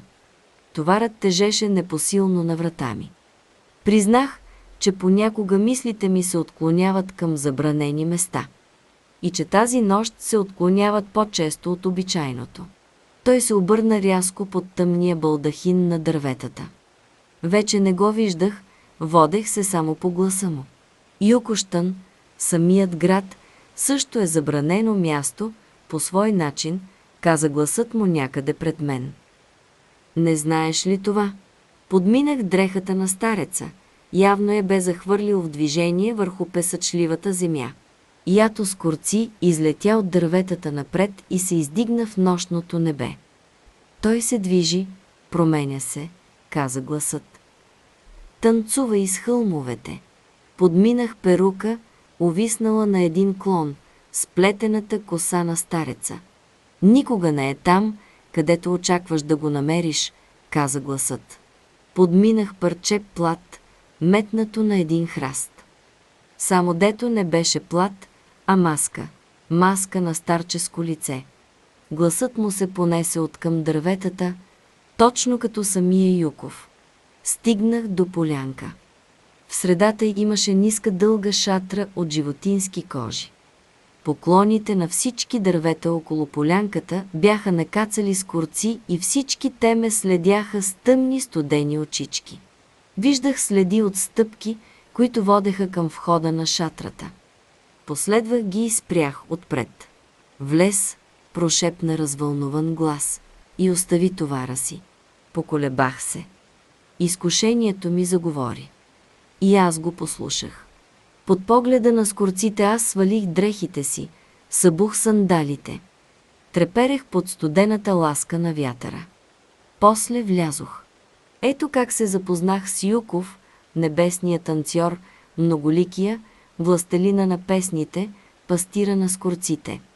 И преди още да ме е докоснал, вече го обичах, така мисля. Мемуари на СВ. Киври жрец и съпруг, съпруга на Юков, 982 г. Малагиш тича, тича по склоновете на замръзнали хълмове, по кални пътища, около влажни гори. Тича, макар дъхът да изгаря дробовете й, а краката й да не годуват при всяка крачка. На 48 тя знае, че много скоро ще е прехвърлила границата, отсам която може да си причинява такива неща. Затова ако наистина искам да го правя, мисли си тя. Нека е сега, докато още го мога обича тичането, защото то е възможно най-чистият боен спорт. Бориш се единствено с себе си, за всяка крачка. Толкова отдавна не се е била истински спротивник. Насиненото й око пулсира болезнено при всяка крачка, че тичането, изглежда, е единствената останала и битка. Минала е почти седмица от последната и среща с Шара Комейт, но Малагеш постоянно мисли за онова, което е казала посланичката.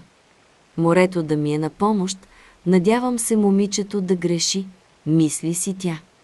Мисълта за това изпива силите й, поредният хълм изглежда много по-непосилен от предишния, но Малагеш не може да се отърси. Един от боговете е жив – може би те никога не са си тръгвали от тук.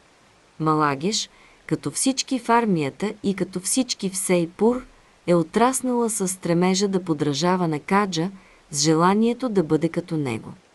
Ала сега, когато на хоризонта се е появил реален шанс да осъществи мечтата си, тази идея я ужасява. Всички сейпурски деца са израснали в сянката на божествата – които дебнат току отвъд границата на кошмарите им, гигантски тъмни неща, които не бива да се споменават, неща, плуващи в дълбините на историята. Шара говори за тях като да са били политици или генерали, но за Малагиш и останалите се и пури, те ще си останат страшилища, таласъми, толкова ужасни, че дори от имената им те побиват ледени тръпки. Истинската война не ме плаши, мисли си тя. Дайте ми нещо с окопи и оръжия. Нещо човешко. Нещо, което кърви като ветеран от лятото на черните реки, Малагеш отлично съзнава иронията на тези си мисли, да си мечтае за онези ужасни дни на кал и грамотевици, на сражение в мрака. Кратка и победна война, без съмнение, но война, която Малагеш горещо се надява да не преживее отново. И все пак, по-добре онази война пред това, колко самоуверено е момичето. Дали защото е чело толкова много? Или просто го носи в себе си, дарено и е заедно с кръвта на Каджа? Това ли е да си негова потомка? Ала в същото време се сеща как на следващия ден младата Шара Комей трепери под одеялото си и смъка успява да задържи чашата чай в ръцете си. Морето да ми е на помощ, мисли си тя. Надявам се момичето да греши, Връща се на бърз ход в кабинета си и намира на бюрото малък свитък. На стола е оставена бележка от един от заместниците й. Прегледахме архивите. Отделихме страниците, които са били ползвани през въпросния месец. Доста време ни отне. Добре ще е да дадеш на момчетата един почивен ден. Само предлагам. Малагеш преглежда набързо документите – 20 страници от списъка с артефакти, които се пазят в неспоменавания склад. Малагиш никога не е чела този списък, не е искала да го чете, но сега хвърля око на една от страниците, спуска поглед по бележки, написани преди десетилетия от сейпурските войници, вече покойници, които са прибрали и заключили всички онези неща. 368 рафт В 558 стъкло на киври, стъклено манисто, което уж съдържа спящото тяло на СВ.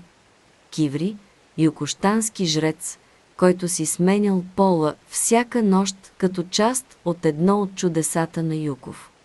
Вълшебно естество, неопределено. 369 рафт В 559.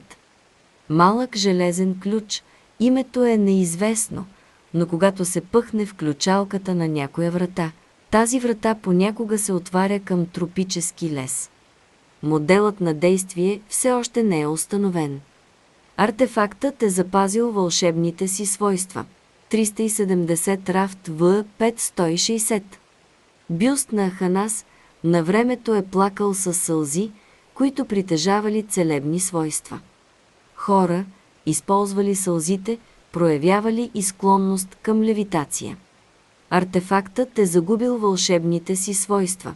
371 рафт В 561 Девет каменни чашки.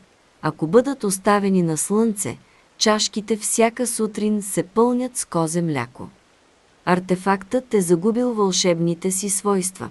372 рафт В 562 Ухо на Юков каменна каса за врата с релефни изображения, но без врата, железни колелца в основата. Смята се, че касата е имала близнак и без значение къде е другото ухо, ако вратите се отворят по правилния начин, човек можел да мине през едната и да излезе през другата. Смятаме, че близнакът е бил унищожен. Артефактът е загубил вълшебните си свойства – 373 рафт В 563. Закони на Колкан. Книги 783 до 797. 15 тома, посветени главно на възгледите на Колкан за танцуването.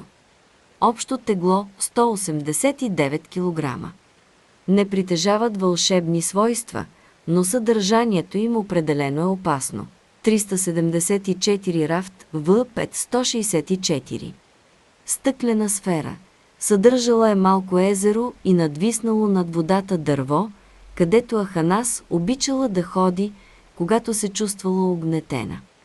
Артефактът е загубил вълшебните си свойства. 20 страници. Почти 200 предмета с вълшебно естество, много от тях изключително опасни. О, да му се не знае, казва Малагиш. Тръшва се на стола си с подкосени крака. Изведнъж се е почувствала ужасно стара. Чантата на шара дрънчи и звънти при всяка нейна крачка по уличката. Отнело е почти цял ден да подреди чантата. Вътре има нещица сребърни и перлени, пликчета с венчелистчета от маргаритки, духано стъкло. И макар да е опаковала нещата старателно, дреболиите са толкова много, че шара звучи като човек-оркестър, който си търси уличен ъгъл, където да свири.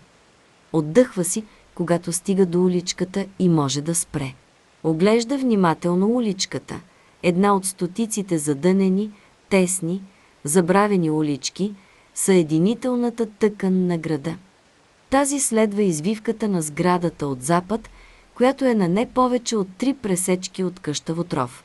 Шара се взира в земята, където следи от гуми криволичат по камъка, като следи от четката на неумел художник. Завили са тук, на този ъгъл, мисли си Шара, и са поели по уличката прави няколко крачки навътре, прескача една открита канализационна тръба, минава покрай купчина буклук. Черните следи на гумите се по-бледи тук, но все още се виждат. Минали са през онази бабуна над тръбата. Тя вдига поглед, спира го на преобърнат контейнер за смет и разпиляно стъкло. Бутнали са контейнера и... Следите от гуми изчезват. Спрял е, мърмори си тя, слязал е и... И какво? Как е възможно човек просто да изчезне? За разлика от Зигрут по-рано, Шара не си прави труда да проверява стените наоколо. Вместо това вади парче жълт тебешир и начертава линия напряко на каменния паваш. Някъде по протежение на тази линия. Мисли си, има врата. Но как да я открия? Оставя чантата на земята. Първият номер от арсенала е стар и елементарен. Вади бурканче, пълни го с маргаритки. Свещени за Аханас, мисли си Шара, заради постоянството, с което поникват всяка пролет. Разтръсква буркана и изсипва листенцата. После взема топче кал от гробища, размазва го по дъното на буркана. После го изтрива внимателно и вдига отвора на буркана към окото си, все едно гледа през бинокъл. Няма промяна във вида на уличката. В далечината обаче Шара вижда част от стените на Баликов и те греят в синьо-зеленикаво, достатъчно ярко, за да осветят вечерното небе. Шара сваля буркана. Без него стените не греят, разбира се, а са прозрачни както обикновено. Но погледнати през лупа, която улавя божествени дела, моментално изпъкват. Експериментът ти показва, че през каквато и врата да са изчезнали нападателите в нощта на приема Овотров, тя, за разлика от стените на Баликов, не е дело на божествата, което би трябвало да е невъзможно, мисли си Шара. Нещо, което помага на човек да изчезне, би трябвало да е божествено по своята природа. Тръгва бавно по уличката. През последните четири нощи е идвала тук, както и на другото място, където Зигрут е станал свидетел на необяснимо изчезване. Ходи на местата и провежда подбрани експерименти, най-често без резултат. Няма какво друго да прави. Зигрут наблюдава госпожа Торскини в нейното жилище. Питри, Нидаин и още неколцина от служителите на посолството анализират инвестициите на Уиклов за последната година. Шара би искала да е при тях и да надзирава работата им, но познанията и за божественото я правят по-полезна тук. Странно, но никой не е виждал Уиклов в града след излизането на госпожа Торскини от посолството. От канцеларията му са отговорили, че е в провинциалното си имение близо до Юкощан по семейни дела. Толкова много изчезвания, мисли си Шара, докато се връща при чантата си. И толкова малко отговори. а разполага с истинска съкровищница от отговори в бялото куфарче на Воханес, което чака в кабинета й. Но за сега не е склонна да рискува да вбеси виня. Не и сега, когато има пред себе си друга гатанка. Пробва и други трикове. Посипва семена от мак по земята, но те не се подреждат по начин, който да сочи божествен пробив в тъканта на света. Изписва върху пергамент една трета от химн на Вуортия и минава с него по уличката. Ако пергаментът се озове на свещена територия на Вуортия, химнат би се дописал моментално с нечетливия почерк на божеството. Неуспехът на този експеримент не я изненадва. Нито едно от чудесата на Вуортия, дори най-дребните, не е сработвало след нощта на червените пясъци. Още един трик. Как сте изчезнали? И още един. Как сте го направили? И още един. Как? Провежда един последен експеримент. Търкулва по улицата сребърна монета. Ако тя срещне някакво божествено препятствие, поставено там съзнателно или по случайност, ще спре и ще се прилепи към земята, като желязо срещнало магнит. Но монетата не прави нищо такова, търкаля си се съвсем нормално и с намаляваща скорост, преди да се завърти около себе си и да се килне върху камъните. Шара въздъхва, бърка в чантата и вади шише чай. Отпива. Вкусът е неприятен, явно твърде дълго са държали и сушените листенца на влажно място. Въздъхва отново, разчиства си местенце на паважа и сяда в уличката с гръб към стената. Седи и си спомня последния ден на своето обучение, последния си час на Сейпурска земя, последния път, когато е пила истински хубав чай. Как го направи? Попита Леля Виня. Кажи ми. Как? Младата Шара Комейт, изтощена, обезводнена и гладна, стрелна с озадачен поглед леля си и продължи да се тъпче. Столовата на тренировъчния лагер беше празна, ако не се брояха те двете и мляскането на шара почти ихтеше в голямото помещение. Придържаше се към историята си, без значение как те тормозеха и разпитваха, каза Виня. Всеки път даваше правилния отговор. Всеки път в продължение на 6 дни. Знаеш ли колко често се случва това? Ако не греша, ти си едва втората или третата в цялата история на Министерството. Взря се доволно над очилата си в своята 19 годишна племенница. Повечето се прекършват на третия ден, между другото, главно заради безсънието. И заради музиката, една и съща мелодия в ниските регистри, която се върти без спир. Разхлопва им дъските и когато им зададеш въпрос – дават грешен отговор. Но ти издържа изпитанието, сякаш си в пълна тишина. А ти? Попита Шара с пълна уста. Дъвчеше варен картоф. Аз какво? Ти пречупи ли се? Виня се засмя. Аз измислих изпитанията, скъпа, никога не се е налагало да минавам през тях. Е, кажи ми. Как го направи? Шара отпи глътка чай. Кое как съм направила, Лелю? Как издържа? Не се пречупи цели 6 дни на психически изтезания. Шара се замисли, забола вилицата си в пилешкото. Не искаш да ми кажеш? Попита Виня. Ами... Неудобно ми е. Аз съм ти, Леля, миличка. Освен това си и мой командващ офицер. О, Виня махна с ръка. Не и тази вечер. Тази вечер е последната ни вечер заедно за дълго време. Дълго време? Е, не чак толкова дълго, скъпа. Е, как? Мислех си. Шара преглътна. Мислех си за родителите си. Устните на Виня се отпуснаха. О, мислех си през какво са минали, преди да умрат. Чела съм за това. Знам, че чумата е била труден начин да си отидеш. Виня кимна тъжно. Да, така беше. Виждала съм го с очите си.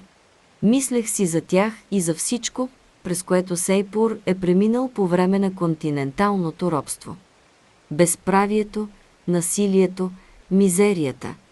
И моето изпитание изведнъж ми се стори незначително лесно. Музиката, безсънието, липсата на вода и храна, постоянните въпроси. Каквото и да ми направеха, не би могло да се сравни с другото. Никога. Виня се усмихна и свали очилата си. Мисля, че ти си най-свирепият патриот, когато познавам. Толкова се гордея с теб, миличка. Особено защото... Е, за известно време бяхме притеснени. За какво? Ами... Винаги съм знаела, че обичаш историята, скъпа. Тя беше най-силният ти предмет в академията.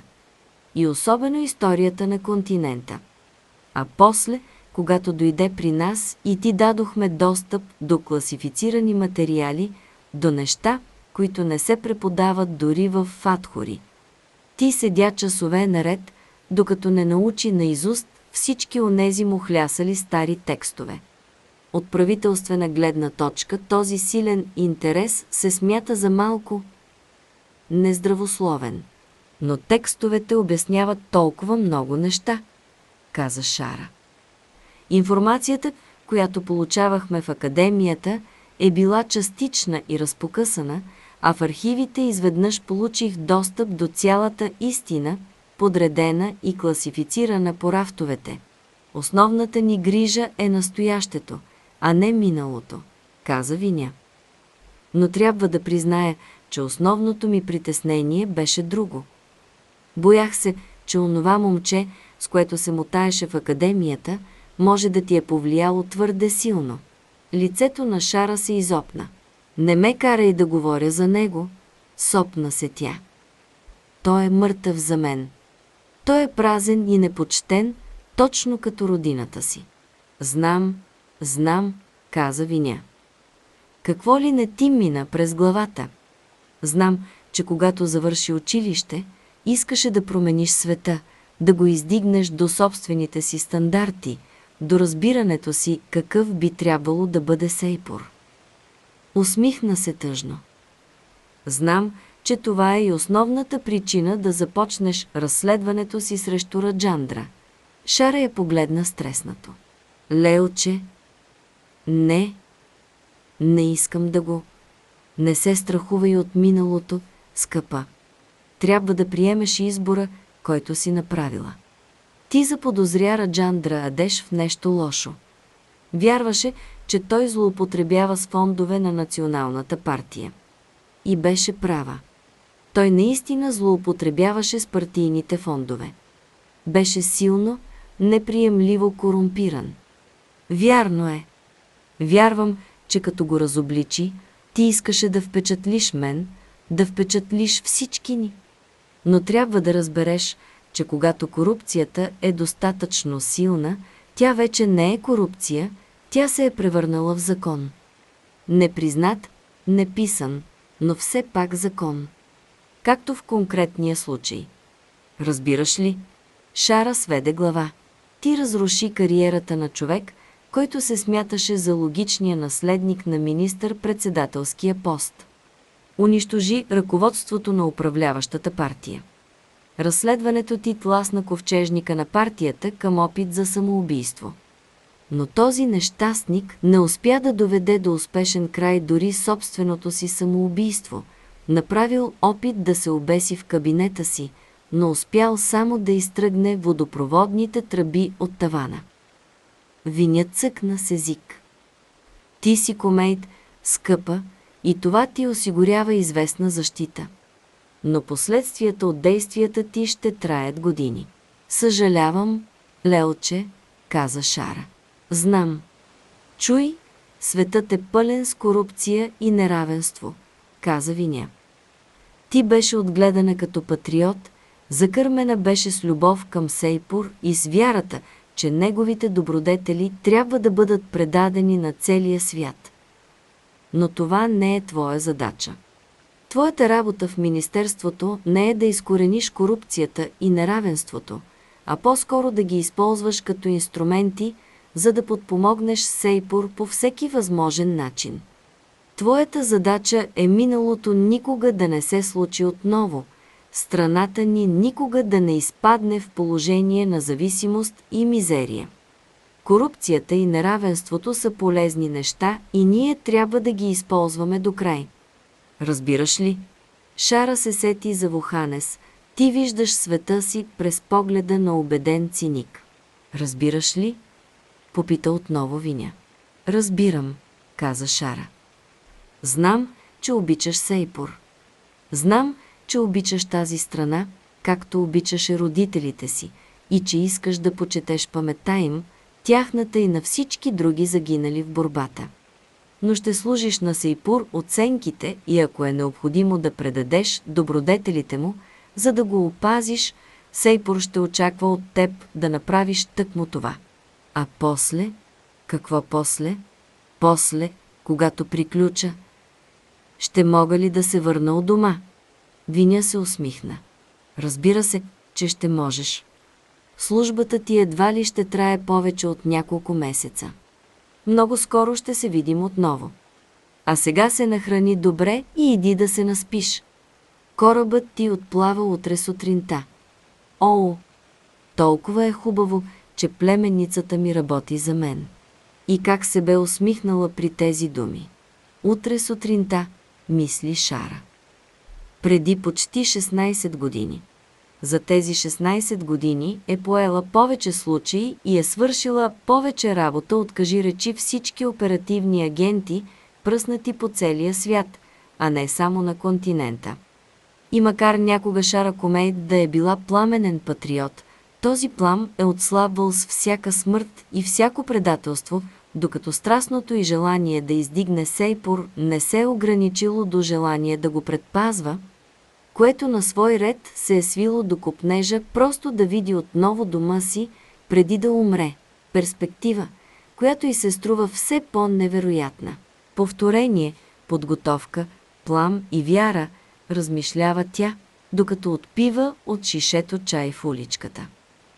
Всичко се свежда до толкова малко. Може би така се чувства човек, когато изгуби религията си. Нещо повече, започнала е да се пита дали наистина е в изгнание.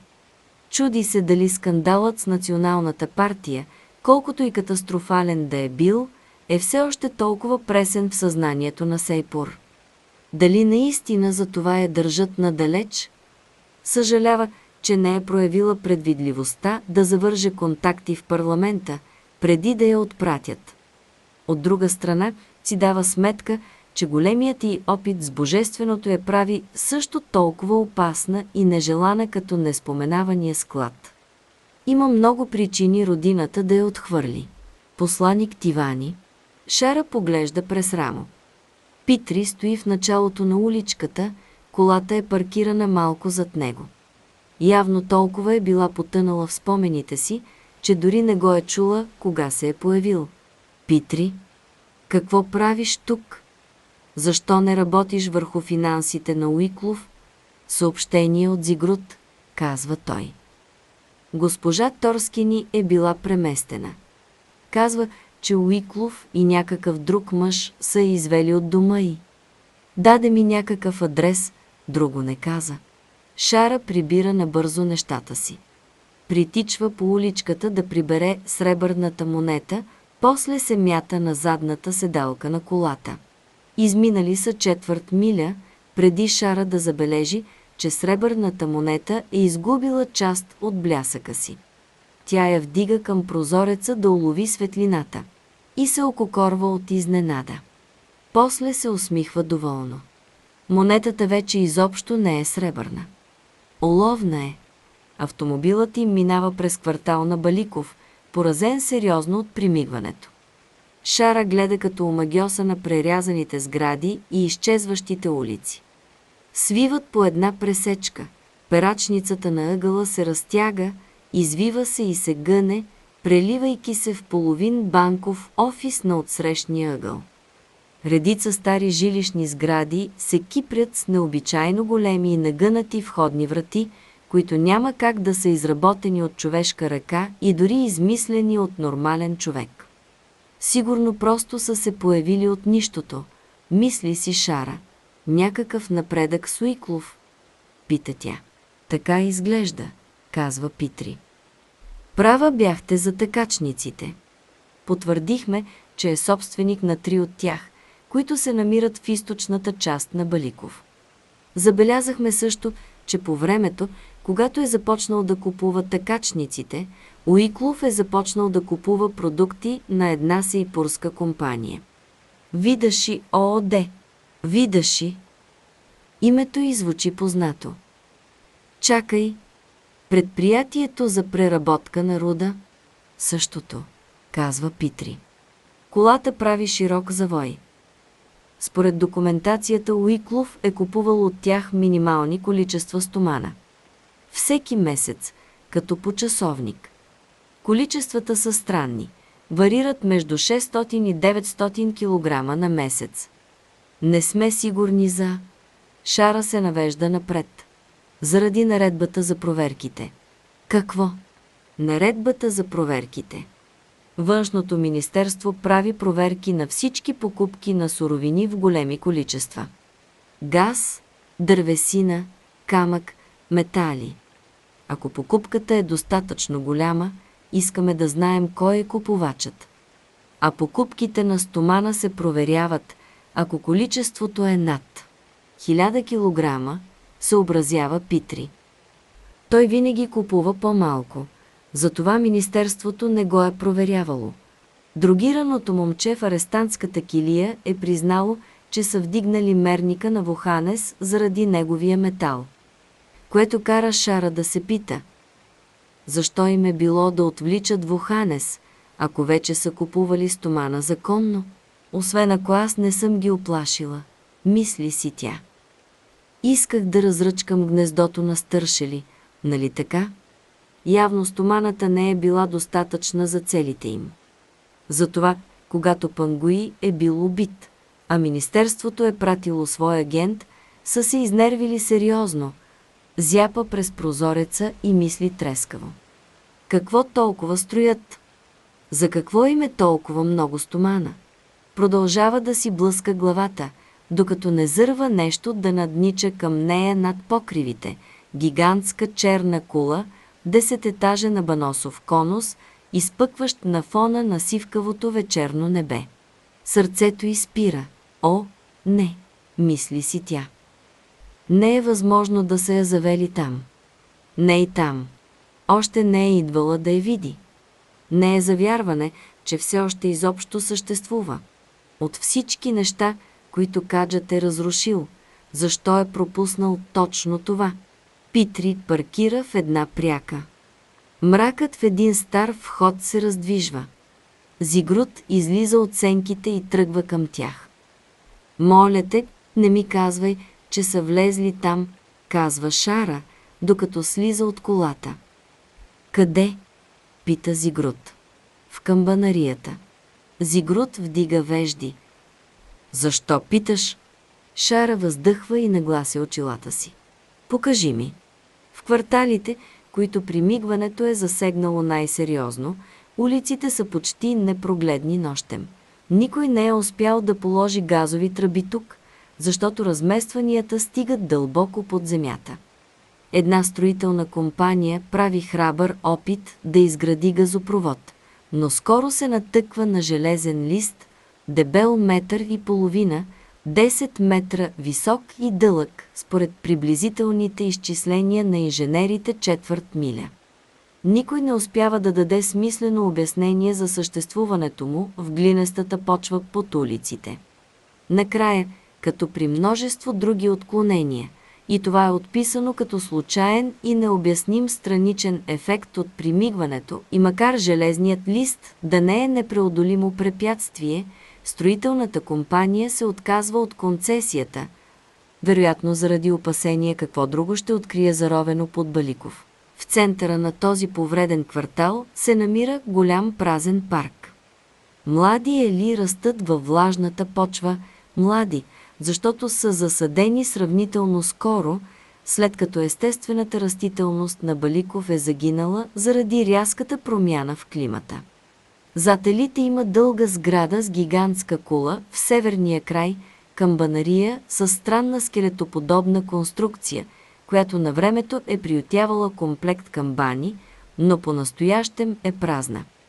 Основата на конструкцията се състои от порутени глинени стени с плосък покрив, който времето не е пощадило.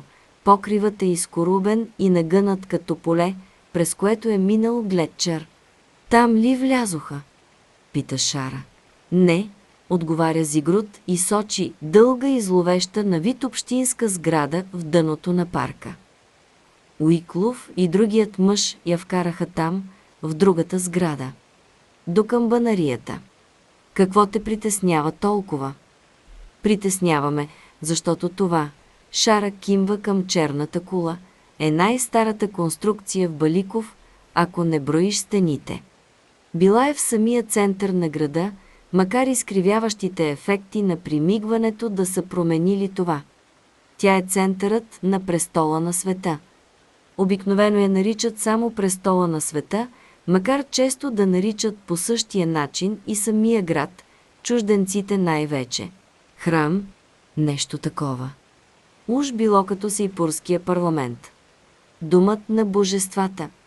Макар, че си го представях много по-величествено, чела съм, че прозорците били с изумително рисувано стъкло.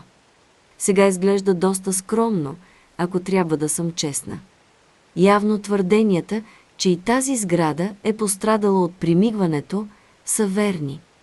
В първоначалния си вид е била много по-висока, всяко божество е имало своя камбана и песента на всяка камбана имала различни. Различен ефект. Например, тя свива рамене. Никой не знае. Точно за това не ми е приятно, че съм тук. Значи Уиклов е дошъл лично. Уиклов и още един мъж. Дойдоха и заведоха Торскини в онази малка сграда. После, преди 40 минути, Уиклов и помощникът му си тръгнаха. От Торскини няма и следа. Доста смело от тяхна страна да действат толкова открито. Къде отидоха? Зигрут смръщва вежди. Нека позная, казва Шара. Направили са няколко завоя по улиците, после внезапно са... Да, изчезнаха, довършва вместо нея Зигрут. Това им е за трети път, но аз отлично помня, почуква се по слепоочието толкова силно, че се чува звук, всички места, където тези хора се изпаряват. И всички те са или в този квартал, или в съседния на запад. Тоест, кварталите, които са пострадали най-сериозно от примигването, казва Шара, което подкрепя една теория, която съм на път да докажа. Плъзга ръка по изронената тухлена стена зад тях. Тези хора използват за свои цели някакъв дефект или ефект, предизвикан от примигването. Откъде знаеш, че не е чудо? Защото използвах всички познати ми трикове за търсене на чудеса казва Шара, и не открих нищо. Не е дело на божествата, значи ни остава само примигването като възможна причина.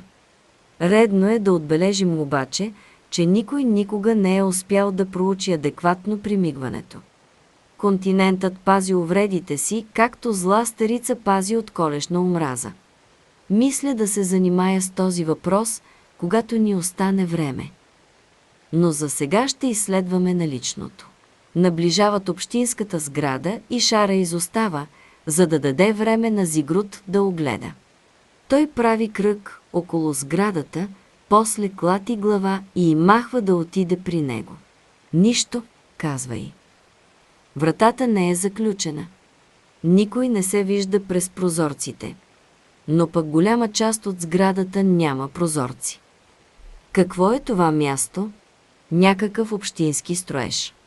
Може да е бил част от програма за обновяване на квартала. Не знам. Но явно са го зарязали.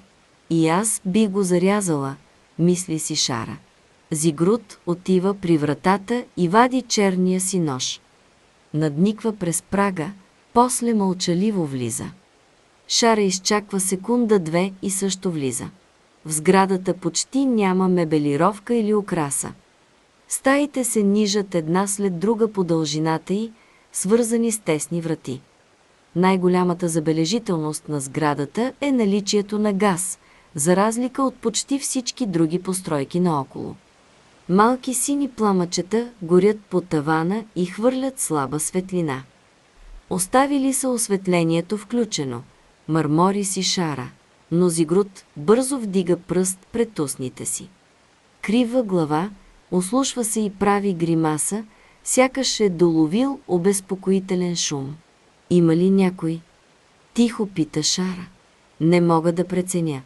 Зигрут продължава напред и надниква във всяка стая, преди да подкани Шара с жест. Всички стаи са еднакви, малки и празни. Госпожа Торски ние няма. Вратите, забелязва Шара, са в една линия. Ако са отворени и погледнеш през първата, ще видиш през последната. Само дето последната врата е затворена, а през ключалката й прониква блед жълтеникъв светлик. Това никак, ама никак не ми харесва, мисли си Шара. Зигрут спира отново. Ето, пак го чух. Някой се смее, казва накрая. Някой се смее? Да. Дете. Много тихо. Откъде? Той сочи затворената врата. И не чуваш нищо друго. Зигрут клати глава. Добре, казва Шара. Да действаме. Очакванията й се оправдават и всички стаи до затворената врата са празни. Скоро и тя чува звука, тих смях, сякаш зад вратата си играе дете. Надушвам нещо, казва Зигрут. Сол и прах. И какво му е странното? Много са. Посочва отново вратата, после прикляква да погледне през ключалката. Снопчето светлина огрява при свитото му око, клепачът му потрепва. Виждаш ли нещо? Виждам кръг на пода, очертан с бял прах. Много свещи. Много. И дрехи. Дрехи. Купчина дрехи на пода. След миг добавя. Женски дрехи.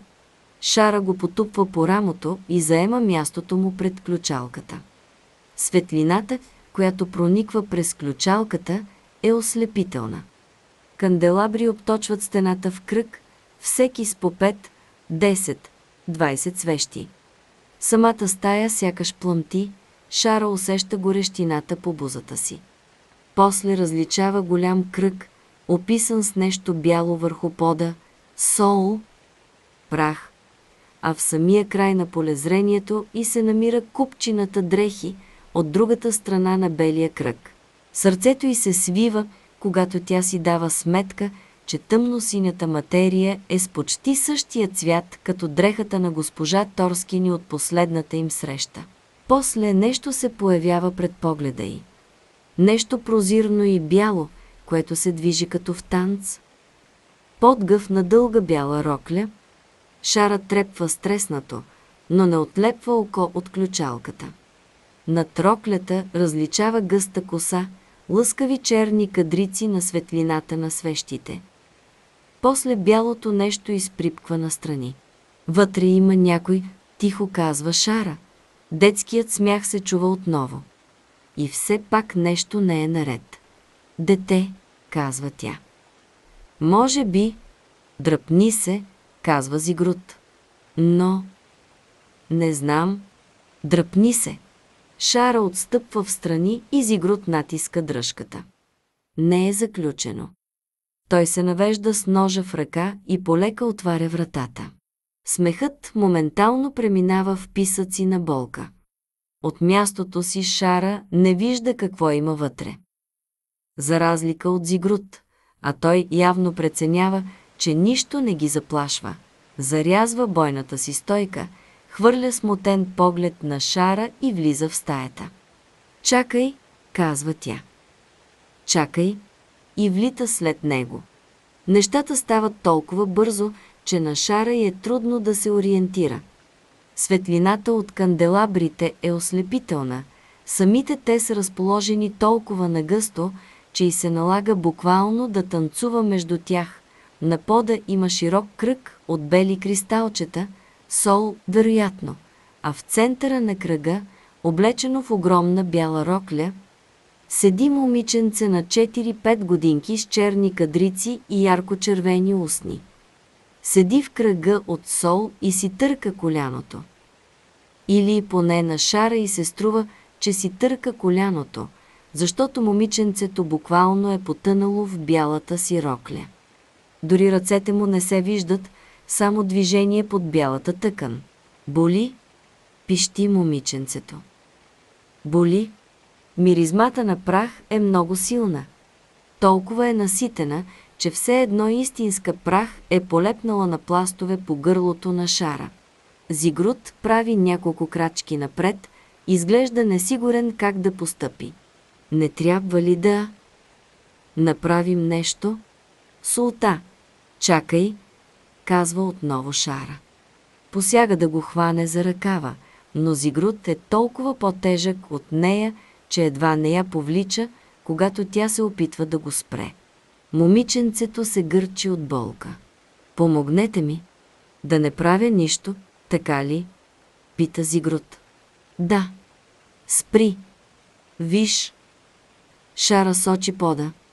На две крачки от тях е най-близката точка на белия кръг. Какво е това? Пита Зигрут.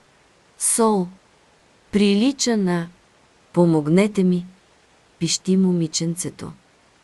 Моля, моля ви, трябва да ми помогнете. Шара се вглежда в детето. Роклята е прекалено голяма за толкова малко момиче, а отдолу има някаква буца, сякаш тялото му е подуто от малформация. Знам какво е това, мисли си Шара. Просто спри, Зигрут. Нека опитам да. Изкашля се. Били ни показала краката си, казва на момичето. Зигрут е озадачен. Какво? Моля ви, писва отново момиченцето.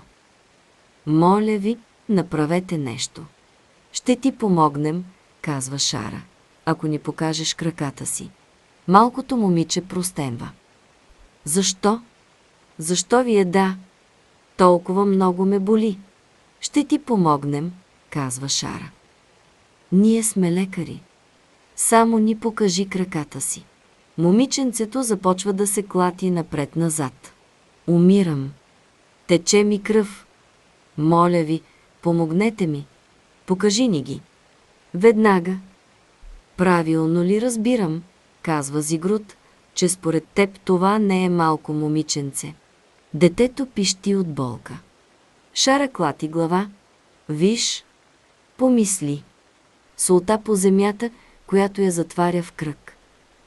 Дрехите на Торскини, които сякаш са паднали на пода, щом тя е влязла в кръга. Детето, все още пищящо от болка, се опитва да стигне до тях. Уж пълзи, но движенията му са изключително странни. Изобщо не използва ръцете си, дали изобщо има ръце. Пита се Шара, а се придвижва с нещо като отскоци от колене. Все едно е парцалена кукла с порцеланова глава, макар че лицето, сълзите и косата изглеждат толкова истински. Но и за миг не показва краката си. Въпреки странните движения на детето, краката нито за миг не се подават под роклята. Вкусът на прах става още по-силен. Гърлото на шара лепне, очите й горят, сякаш са пълни с ситен пясък. Има нещо под роклята. И то не е тяло на малко дете, а нещо много по-голямо. О, морето да не дава, мисли си тя. Възможно ли е да? Помогнете ми, пищи момичето. Боли ме. Много ме боли. Отстъпи назад, Зигрут. Не му давай да те наближи. Зигрут прави крачка назад. Не, крещи момичето. Пропълзява като червей до самия край на кръга, на крачка от тях. Не, моля ви, не ме оставяйте. Ти не си истинска, казва Шара на момичето. Ти си стръв. Стръв, повтаря като ехо зигрут. За какво? За теб и мен. Детето избухва в сълзи.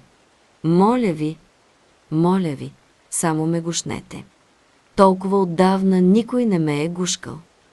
Зарежи представлението, гневно казва Шара. Знам какво си. Момиченцето надава писък. Звукът е оглушителен, реже като бръснач. Престани, крясва Шара. Прекрати глупостите. Не сме толкова тъпи. Писъците секват рязко. Така рязко, че тишината е стряскаща. Момичето не вдига поглед. Седи, свито на две, застинало, безжизнено на вид. Не знам как изобщо си оцелял, казва Шара. Мислех, че всички вие сте загинали по време на голямата чистка. Момичето обръща леко глава настрани и гъстите кадрици трепват. Ти си мховост, нали? От домашните любимци на Юков. Момичето изправя гръб, но в движенията му има нещо механично, като да е марионетка, направлявана с конци. Лицето му, доскоро разкривено от сърцераздирателна агония, сега е лишено от изражение, празно като на кукла. Нещо се размърдва по троклята. Малкото момиче сякаш пропада в материята. Завихря се прах. Създанието се изправя бавно сред белите дипли. Един поглед към него и шара започва да повръща. Прилича малко на човек, има торс, ръце и крака. Но всичко е несъразмерно дълго, разтеглено някак и с твърде много стави, сякаш тялото е съставено предимно от кокълчета и костни ябълки, които се движат под гладката кожа. Крайниците са увити в бял плат, посивял от наслоена прах, а стъпалата са кръстоска от човешки и гъши крака, всеки с по три дебели сраснали пръста, завършващи с миниатюрни съвършени нокътчета. Но най-страшна е главата, тилът напомня до някъде за главата на оплешивяващ мъж с кръг от дълга сивкава, проскубана коса около плешиво петно. Вместо лице или челюсти, главата се разтегля напред в нещо като широка, дълга и плоска човка, която на свой ред навява мисли за гъска. Но приликата с гъша човка свършва до тук. Човката на това създание е направена от човешка плът с множество кокълчета, като ръце с сраснали пръсти, прилепени една към друга с връзка при китките. Мховостът изтраква с човка към шара, звукът е влажен, чува се нещо като фъп-фъп-фап. Не иде в главата си шара чува ехо от детски смях, писъци и плач. Месестата човка трака към нея и шара вижда, че създанието няма хранопровод, нито зъби, навътре в човката има само от същата кокалеста космата плът. Шара се превива на две и повръща отново, но запазва достатъчно присъствие на духа да се извърне на страна, така че да не засегне кръга от сол. Зигрут се взира с празен поглед в чудовището, което крачи пред него като боен петел и го предизвиква на двубой. Това нещо бавно пита Зигрут. Да го убия ли? Не, простенва Шара. Нов напън за повръщане. Мховостът изтраква с човка към нея и в главата й отново зазвучават призрачните деца. То ми се присмива, мисли си Шара. Не нарушавай солния кръг. Само благодарение на него още сме живи. А момиченцето? Няма никакво момиченце. Това създание е вълшебно, но вълшебството му е тъмно. Изплюва жлъчка на пода. Мховостът прави воинствен жест. Човешкото в движенията му е отблъскващо, но и ясно като послание. Все едно създанието казва на Шара. Хайде! Ела ми! Убил си госпожа Торскени, нали? Пита тя. Довели се е тук и тя е нарушила солната бариера. Мховостът поглежда купчината дрехи и свива безразлично рамене. Пантомимата е гадна, но ефективна. Онази старица махва с ръка, лесна плячка, после изтраква с човка към тях. Ще ми се, казва Зигрут, стиснал здраво ножа си. Да спре да трака така. Иска да нарушиш кръга. Докопа ли те, ще те глътне на една хапка. Фъп-фъп-фъп-фъп. Зигрут я поглежда скептично. Това е същество от кости и кожа, обяснява Шара. Но не от свои кости и кожа. Боя се, че някъде в него са преобразените останки на госпожа Торскини. Мховоста тръчка корема си с многоставните си пръсти, сякаш да провери къде точно се намира споменатата госпожа. Шегаджия. Но това може да се очаква предвид кой е създателят му. Как така си оцелял? Пита Шара. Не трябваше ли да умреш заедно с Юков? Създанието застива на място. Поглежда към нея с безокото си лице. После тръгва напред-назад, напред-назад, сякаш пробва ограниченията на кръга. Какво прави? Пита Зигрут. Ядосахме го, казва Шара. Юков ги е създал в пристъп на лошо настроение. Известни са като кокалявите, гласа под парцала. Обичат да ни се присмиват, да ни дразнят. Единственият начин да ги разкриеш е като ги накараш да си покажат краката, защото само тях не могат да скрият напълно. Но нямам представа как е оцеляло. Юков мъртъв ли е? Обръща се тя към съществото. Без да спира нервната си разходка, мховостът клати глава. После набива спирачки, сякаш да се замисли и свива рамене. Защо си тук? Създанието отново свива рамене. Знаех, че могат да оцелеят известно време, казва Шара, но не и че могат да издържат толкова дълго след смъртта на божеството, което ги е създало. Мховостът протяга отблъскващо дългата си и плоска ръка и я разклаща в смисъл може би да, може би не. Двамата мъже, които са били тук, казва Шара. Те ли те уловиха в този капан? Създанието отново тръгва напред-назад. Шара решава, че пак го е ядосала, значи предположението й е вярно. От кога те държат затворен в тази сграда? Създанието имитира смях.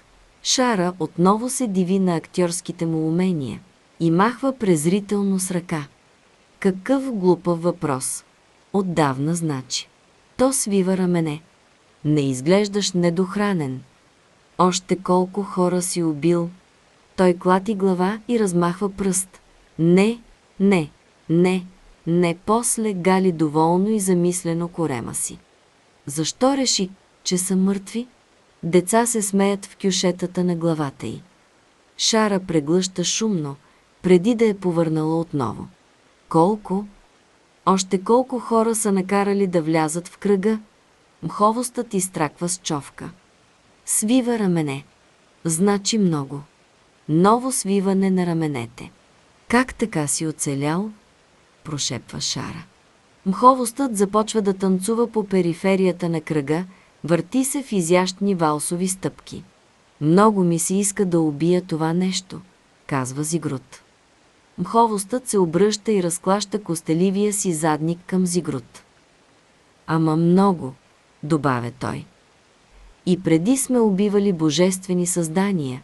Чуй ме, чудовище, студено казва Шара. Аз съм потомка на човека, който изби вашата раса, който свали и стъпка в прахта божествата ви, който съсипа земята ви само за няколко седмици. Моят предтеча погреба десетки, стотици твои братя и сестри в кълта и там те гният и до ден днешен. Нищо не ме спира да сторя същото с теб.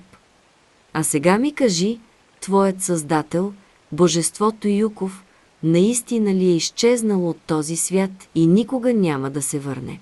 Мховостът бавно се изправя. Сякаш размишлява върху нещо. И тези мисли го натъжават. После се обръща, поглежда шара и поклаща глава. Тогава къде е? Отново свиване на рамене, но не и наполовина толкова злобно или злорадо като преди. Този път жестът е унил, смутен, като на дете, което се чуди защо са го изоставили. Двамата мъже, които са били тук. Единият е дебел и плешив, нали? Съществото започва да обикаля трескаво в кръг. Това трябва да е да, съобразява Шара. А другият, той как изглежда? Мховостът видимо променя стъпката си, поклаща бедра, слага една ръка на кръста, другата чупи женствено в китката. Прави поредния кръг, като глади долната страна на човката си, все едно се наслаждава на собствената си красота. Това определено не се връзва с обичайната компания на Уиклов. Как те улови Уиклов тук? Мховостът спира, обръща се да я погледне и се превива на две в безмълвен смях. Махва и, все едно е оценил шегата и по достоинство. Що за нелепа мисъл? Значи не е бил Уиклов, казва Шара. Тогава кой? Създанието чупи отново китка, имитирайки женствена стойка и клати глава по начин, който може да бъде определен единствено като развратен. Другият мъж те е уловил тук. Кой е той? Другият мъж? Мховостът подскача умело, пада на челна стойка, после тръгва на ръце в поредното кръгче. Кой е той? Светлината в стаята примигва, пламъчетата на свещите танцуват. И всичките, забелязва Шара, са се навели под един и същи ъгъл. Вятър. Плъзва поглед по стените. В далечния ъгъл, дълбоко в кехлибарените сенки, съзира нещо като пукнатина в камъка, панел, може би, или врата. Взира се в пода. Солният кръг е възможно най-широк, почти от стена до стена. Няма начин да стигнеш до вратата, без да минеш през заграждението на мховоста. Като куче пазач. Какво има зад онази врата? Пита Шара. Мховостът я поглежда от към пода, премята се отново и стъпва на крака. Кривва глава като куче и театрално чеше плешивата си глава с един четириставен пръст. Божествата, спомня си Шара, може ли да бъдат убити единствено с оръжието на Каджа? Но по-низшите вълшебни създания били много по-уязвими и всяко си имало слабо място, стига до решение. Колко хора си погълнал по време на принудителния си престой тук? Съществото отново се превива в престорен смях. Приближава се станцова стъпка към Зигрут и се прави, че го оглежда, че опипва бедрата му, че го ръчка в корема. Смятам, че са били много, казва Шара. Смятам също, че ти е било приятно. С едно бързо движение мховостът се озовава пред нея и плъзга бавно пръст покрай човката си. Жестът има откровено сексуален подтекст. Шара поглежда към един от канделабрите наблизо. Тези са напълно незаконни, разбира се. Взема една от свещите и я обръща. От долната й страна, точно както е очаквала, има релефен символ – пламък между две успоредни линии. Емблемата на Улвос – пламък в гората. Тези свещи никога не угасват и горят с силна бяла светлина. Приближава длан над пламъка. Но топлината, която излъчват, тя е съвсем реална, не е иллюзия. Мховостът сваля ръка и отстъпва крачка назад. На бас, че госпожа Торскини буквално е хукнала към теб. Нали? Тихо казва Шара. Видяла е малко дете в нужда. Спомня си за старата жена, приведена над чашата хубаво кафе. Опитах се да се науча. Исках да се науча на правото слово. Исках да знам. Но се научих единствено да се преструвам. Ядосан, мховостът изтраква към нея с човка. Фъп-фъп-фъп-фъпва. Шара замахва и хвърля свеща по него. Съществото пламва на мига. Чува се силен пукот и от гърдите му изригва огън. След броени секунди вече е тъмна човекоподобна фигура, която се мята в облак от бяло и оранжево. Някъде в главата си Шара чува детски писъци. И за пореден път си спомня момчето в арестантската килия. Винаги правя едно и също. Горящото създание се мята и солния кръг, сякаш отскача от невидими стени. Ивици плъмтящ плат се носят около него като ярко-оранжеви черешови цветчета. Мховостът стиска главата си, чудовищната му паст е разината в мълчалив вик. Силуетът му се размива. Пламъците постепенно угасват. Облак прах се завихря между канделабрите. После не остава нищо, само следи от сажди по пода. Пресъздаване. И рече Улвос. Нищо не се губи наистина. Светът е като океан, връща се като прилив по местата стари, бяга като отлив за пореден път. Ликувайте, че загубеното ще се върне.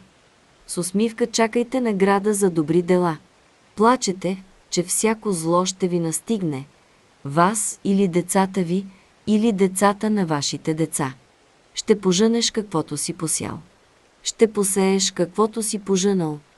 Книга на червения лотос, част четвърта, 13.51, 13.61 Шара пристъпва през солния кръг, готова да я сполети нещо ужасно. Току виж създанието възкръснало и се нахвърлило върху нея, но не се случва нищо особено. Тя опипва пукнатината в стената, опитва се да пъхне пръсти в нея, но нищо не поддава. Ела да погледнеш, казва тя.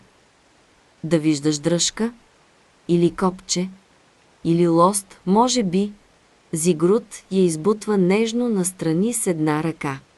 После отстъпва крачка назад и изритва с все сила скритата врата. Трясъкът в тихата стая е оглушителен. Половината от вратата се огъва навътре, другата се разпуква и се свлича на пода като щупено огледало. Бели вълма горчив дим изригват към тях. Шара докосва разбитата врата, по пръстите й остават следи като от тебеширен прах. О, казва тя. Хурусан. Проточва врат да погледне през прага. Пръстени стъпала се спускат надолу по остър ъгъл. Зигрут взема един от свещниците и казва Като гледам, ще ни трябва. Стъпалата нямат край. Спускат се все по-надолу, меки и влажни, оформени от тъмна, почти черна глинеста почва. Шара и Зигрут слизат мълчаливо. Не обсъждат току-що преживения ужас, нито Зигрут я пита откъде е знаела как да се отърве толкова елегантно и ефикасно от чудовището. Преди 8-9 години сигурно са щели да го обсъдят надълго и на широко, но вече не. Толкова отдавна се занимават с тази странна своя професия, че едва ли е останало нещо, което да ги изненада. Сблъскваш се с вълшебство, правиш каквото трябва по въпроса и се връщаш на работа. Макар че това, мисли си Шара, беше най-неприятният ни сблъсък от доста време. На къде мислиш, че отиваме? Пита тя. На запад. Към камбанарията? Зигрут се замисля и кимва. Значи скоро ще се озовем. Под нея нещо такова. Шара си спомня за газовата компания, която се отказала от концесията си в този квартал, вместо да рискува с подземията на Баликов. Сещам се за един въпрос, казва Зигрут. Как е възможно да се направи такъв проход, без никой да забележи? Шара плъзга поглед по стените на тунела. Изглежда го използват от доста време. Има следи от износване. Но въпреки това ми се струва, че първоначално са го не са го прокопали, а са го прогорили. Какво? Тя сочи черните следи от сажди и по-песъчливите места, които изглеждат стопени като стъкло. Някой е прогорил толкова дълбока дупка. Пита Зигрут. Така изглежда, казва Шара. Прилича на дупка, която пробиваш с горелка в метал. Виждала ли си такова нещо? Всъщност, не съм, което, откровено казано, сериозно ме притеснява. Бялата светлина на свещите танцува диво по пръстените стени. Странно течение гали страните на шара. Тя нагласява очилата си. Стъпалата сякаш се стапят под краката й. Стените се отдръпват, стават каменни. Не, каменни стенописи, при това са сложен и великолепен рисунък. Макар треперливата светлина да й пречи, Шара е сигурна, че сред другите елементи на стенописа различават тънката фигура на Аханас и знака на Талхаврас. Стените все така се отдалечават. После изчезват напълно. О, да му се не види, казва Шара. Светлината на свещите избутва мрака. Сенките се оттеглят като завеса и разкриват гигантска каверна. Шара различава по нещо тук и по нещо там, по-близо и по-далеч. Да му се не види. Оглежда се. Каверната е огромна и навява мисли за отроба. Таванът и подът са вдлъбнати и се срещат в центъра на залата чрез нещо като каменна колона. Залата е разделена на шест атриума, които се събират в средата и като венчелистчетата на приказна орхидея. А всеки сантиметър от стените, тавана и пода е покрит с глифи, символи и пиктограми, изобразяващи странни и смущаващи събития. Мъж издърпва бодливо цвете от череп и връзва стеблото му около езика си. Три жени, претърпели вивисекция, се къпят в планински поток. Очите им са като стъклени маниста, а от брега ги наблюдава Елен. Жена зашива разрез под мишницата си, а от разреза се подава безизразно мъжко лице, сякаш човекът е зашит вътре в нея. Четири гарване кръжат в небето, а под тях мъж вади вода от земята с копие. И така нататък, и така нататък, образи ужасни и иносказателни, чието значение и се губи. Какво? Почва Зигрут, задавя се и кашля. Що за място е това? В центъра, където подът и таванът се събират, около колоната има мека пръст. Откъде може да е дошла? Чуди се Шара. Тръгва напред, трудно и е да прецени стъпките си по наклонения пот. Колоната, оказва се, не е една. Пет са и поддържат спирална стълба. Вижда се, че първоначално са били шест, но на някакъв етап са отстранили едната. Шест атриума, мисли си тя. Шест колони и шест божества. Стълбата свършва с запечатан отвор в тавана, запълнен с слаб градеж от камъни и ронеща се глина. Разбира се, казва Шара. Естествено. Какво? Пита Зигрут. Шара оглежда една от колоните, изработена е майсторски, така, че да наподобява ствол на бор или елха, нагоре по кората пълзи огнена линия. Съседната колона е права и строга, един и същ сложен рисунък се повтаря отново и отново, нещо като визуално изображение на множество математически формули. Следващата колона прилича на палма, но вместо да е с характерната кора, от стъблото, под тъгъл нагоре, стърчат хиляди споени ножове. Съседната е полазена от стари лияни с множество вдървенели стъбла, увити едно около друго, и е леко извита, сякаш създателят й е искал да създаде впечатление за гъвкавост. Последната от петте колони е хаотично торнадо от цветя, листа, борови иглички, пясък, от какво ли не, от всичко.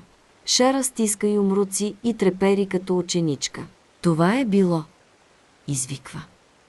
Това трябва да е било истинското. И през цялото време е било тук долу. Кое? казва Зигрут с обичайното си безучастие. Не виждаш ли? Всички казват, че камбанарията на престола на света се е смалила по време на примигването. Но това не е вярно защото това е основата на камбанарията. Тя сочи колоните около стълбата. А по тези стълби се отива нагоре. И... И кулата изобщо не се е смалявала. Явно целият храм е потънал в кълта. Онази смотана глинена барачка в парка никога не е била истинският престол. А точно в това вярват всички, дори местните. Ето това тук.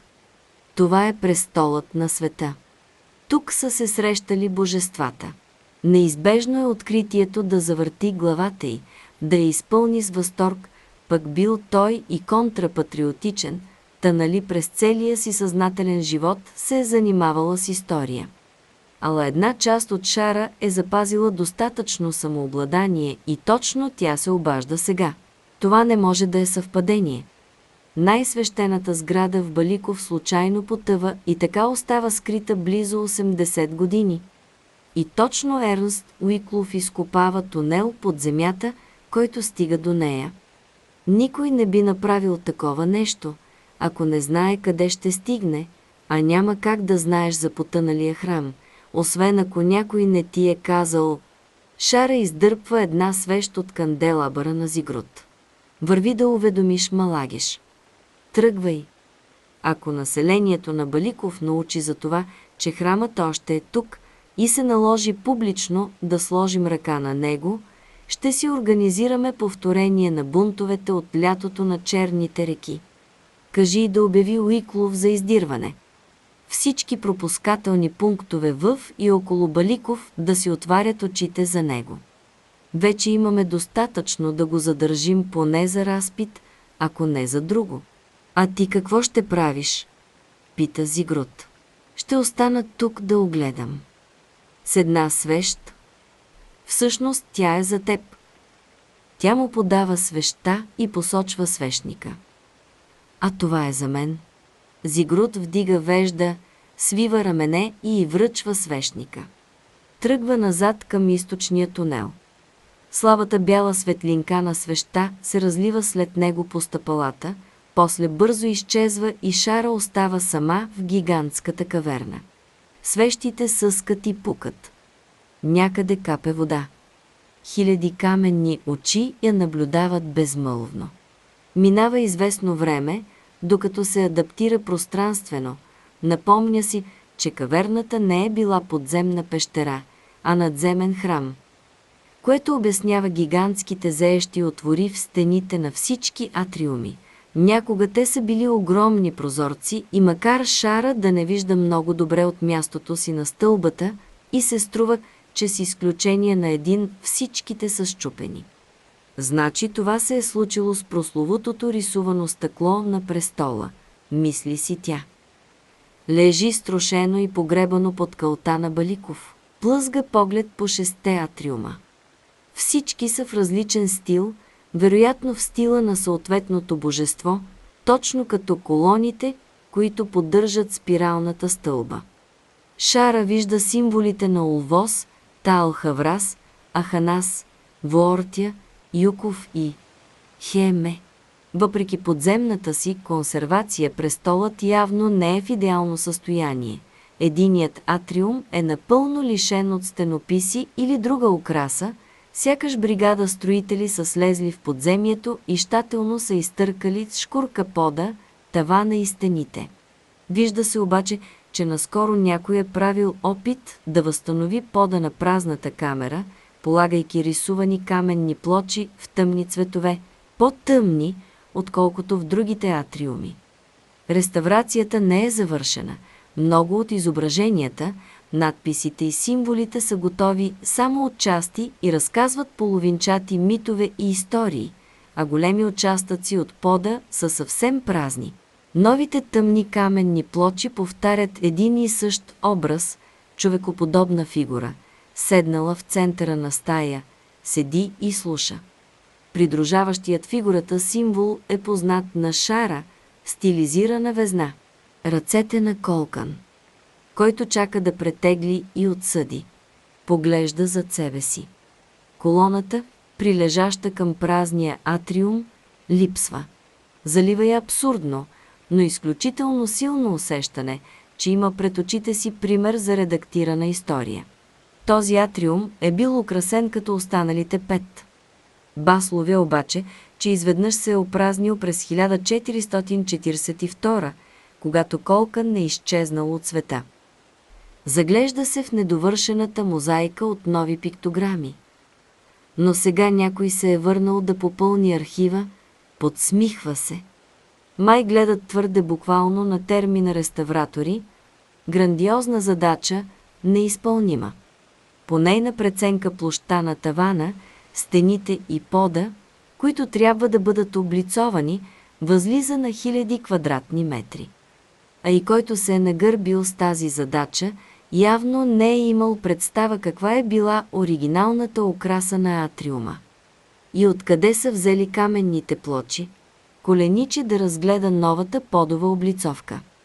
Самите плочи са изключителни, тъмен гладък камък, какъвто Шара вижда за пръв път, а пиктограмите разказват истории и случки, които Шара не е чувала, колкън, изобразен като силует с дълга роба и качулка, разрязва корема на гол човек. От разреза изригва ярка светлина и се плисва като дъжд по заоблените хълмове наоколо. Сигурно са от друг храм. Шара плъзва пръст по едно от изображенията. Някой е изкъртил тези камъни от оцелял храм на Колкан и се е опитал да го пресъгради тук, за да възстанови Колкан в престола на света. Би ли могъл Ернст Уиклов да направи нещо такова? По силите му ли е такова начинание? Лавя някакво движение в страни и вдига бавно глава. Нещо се гърчи на стената. Взира се напрегнато и различава голяма празна рамка – която стои изправена само на метри пред нея. Явно е зърнала танца на сянката й, която трептящите пламъчета на свещите хвърлят върху стената отзад. Поглежда към другите камери. Там няма рамки. Онзи, който се е опитал да възстанови атриума на Колкан, вероятно същият, който е прокопал тунела с пръстените стъпала и се е сетил да заложим ховоста като пазач – пак той е донесъл ви рамката. Шара отива при нея. Каменна каса за врата, висока приблизително 3 метра. Но пък в годините преди примигването, спомня си Шара, континенталите са били доста по-високи от сега, когато масово страдат от недохранване. Като множество други неща, създадени по време на божествената епоха, и тази каса е истинско произведение на изкуството – каменоделецът е превърнал твърдия материал в съвършено подобие на гъста козина, сухо дърво, мек камък и скорци. Но нито един от тези артистични мотиви не е свързан с Колкън, поне доколкото се простират знанията на Шара. Колкън принципно е презирал украсата като такава. Тя докосва каменните скорци върху касата. А и не бяхте ли вие любимци на Юков, едва е докоснала рамката и тя се плъзга назад. Шара поглежда надолу към основата й. Касата е монтирана върху четири малки железни колелца. Шара я бутва още веднъж. С тихо изкърцване касата се плъзга още десетина сантиметра назад. Защо му е на някого преносима каса за врата? Шара насочва поглед към прозоречната каса в стената на атриума. Първоначално всеки атриум си е имал прозорец с рисувано стъкло. Шара е чела десетки писма, описващи красотата на божественото стъкло в престола на света, сини и червени цветове, които окото не можело да различи до край, но въпреки това усещало. И макар да е тъжно, че всичко това вече го няма, по. Силно е друго чувство, а именно по чудата, че прозорецът на колкане е непокътнат, но стъклото е прозрачно, без никакви рисунки. Размахва бавно свещника и наблюдава отражението му в стъклото. Голям, прозрачен и съвсем обикновен прозорец. Може би стъклописът е изчезнал, когато е изчезнал колкан. Мисли си тя. Но защо този прозорец е цял, а останалите са щупени до един – Вдига свещника и оглежда другите атриуми. Някога, като съвсем малка, Леля Виня я е завела в Националната библиотека в Галадеш.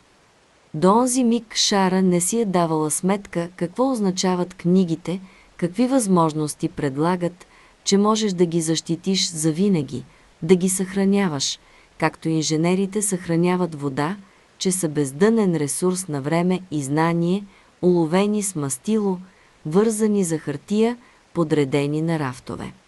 Мигове, превърнати в нещо физическо, недосегаемо, съвършено, като да запазиш мъртъв стършел в кристал с капчица отрова, провиснала завинаги от жилото му.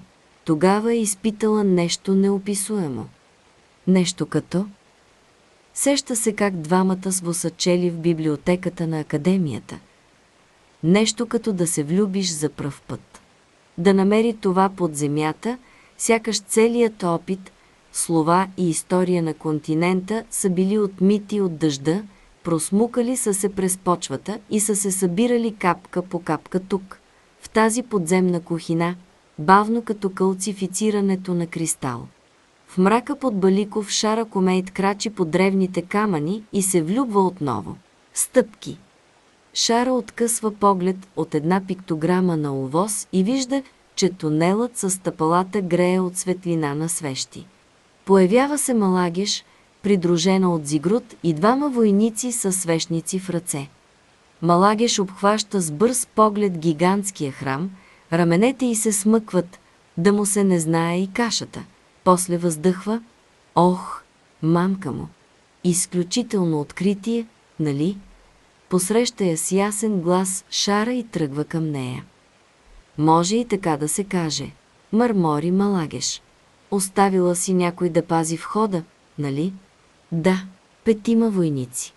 Това, казва Шара, докато заобикаля една локва, е гигантско. Гигантско. Най-значимото свързано с божествата откритие, правено от войната на сам. Най-великата историческа находка в... Ами в историята. Откритието дори на частичка от този комплекс, на парченце от някоя пиктограма, в Галадеж би се сметнало за революционна находка. Но да откриеш целия комплекс, при това почти непокътнат, това е, това е. Шара си поема дълбоко дъх, останала без думи. Направо свят да ти се завие. Малагеш зяпа извития таван. Бръсва с кокълчета белезите по челюстта си. Определено. Ето. Ела да видиш това. Шара се навежда. Тези няколко квадратни метра подова облицовка дават много повече информация за Аханас, отколкото сме открили за десетилетия. Почти нищо не знаем за нея. Както сигурно знаеш, Аханащан е едно от местата, пострадали най-сериозно от примигването. Почти целият град буквално изчезнал. В сегашния си вид градът е построен от нас, от Сейпур. Знам. Но това изображение показва защо е изчезнал. То потвърждава теорията, че Аханас буквално е отгледала града, посявайки вълшебни семена, от които пораснали живи сгради, домове, улици, лампи. Праскови, които греели нощем и осветявали града вместо улично осветление. Лияни, които довеждали вода и отвеждали отпадъци, един вид водопровод и канализация. Удивително! Малагеш се почесва по ъгълчето на устата. Да, и когато Аханас умряла, всичко това е изчезнало. Нещо повече, тази находка ни дава второ обяснение за празнината в знанията ни за онзи период. Ако изображенията са верни, то аханащаните вярвали, че всички проявления на живота и следователно всички части на тялото са свещени. Те никога не вземали лекарства, никога не си режели косата и ногтите, не се бръснели, не си миели зъбите, не си миели дори. Интимните части. Хеме, но не защото били нечистоплътни, а защото не се налагало. Аханас посрещала всичките им нужди – хората живеели в пълна хармония със своя жив, органичен град. Но след примигването, когато континентът бил нападнат от болести Изглежда логично те да са отказали всякакво лечение, медикаменти. И измрели, почти всички аханащани на континента измрели. Можеш ли да си представиш? Можеш ли изобщо да си го представиш? Да, казва Малагеш, после добавя кротко. Даваш си сметка, че ще трябва да затворим тунела, нали? А ето този участък, казва Шара, показва. Показва. Свежда глава и издиша бавно. После вдига глава да погледне Малагеш. Малагеш се усмихва мрачно и кимва. Да, даваш си сметка. Даваш си сметка, че няма начин да опазим нещо такова в тайна. Много е голямо. Ще сложим охрана. Да. После някой ще започне да задава въпроси какво охранява тази охрана и ще продължи да пита, докато от някъде не изтече информация.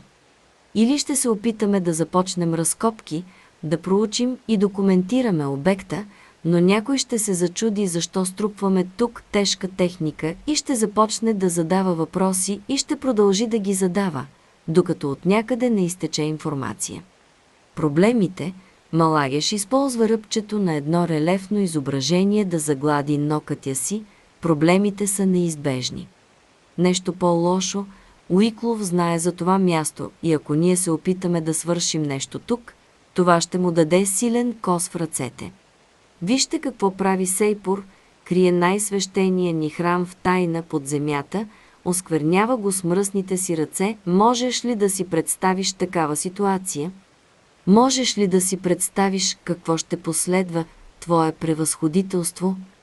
Какви ще са последиците не само за Твоето разследване, но за континента, за Сейпур?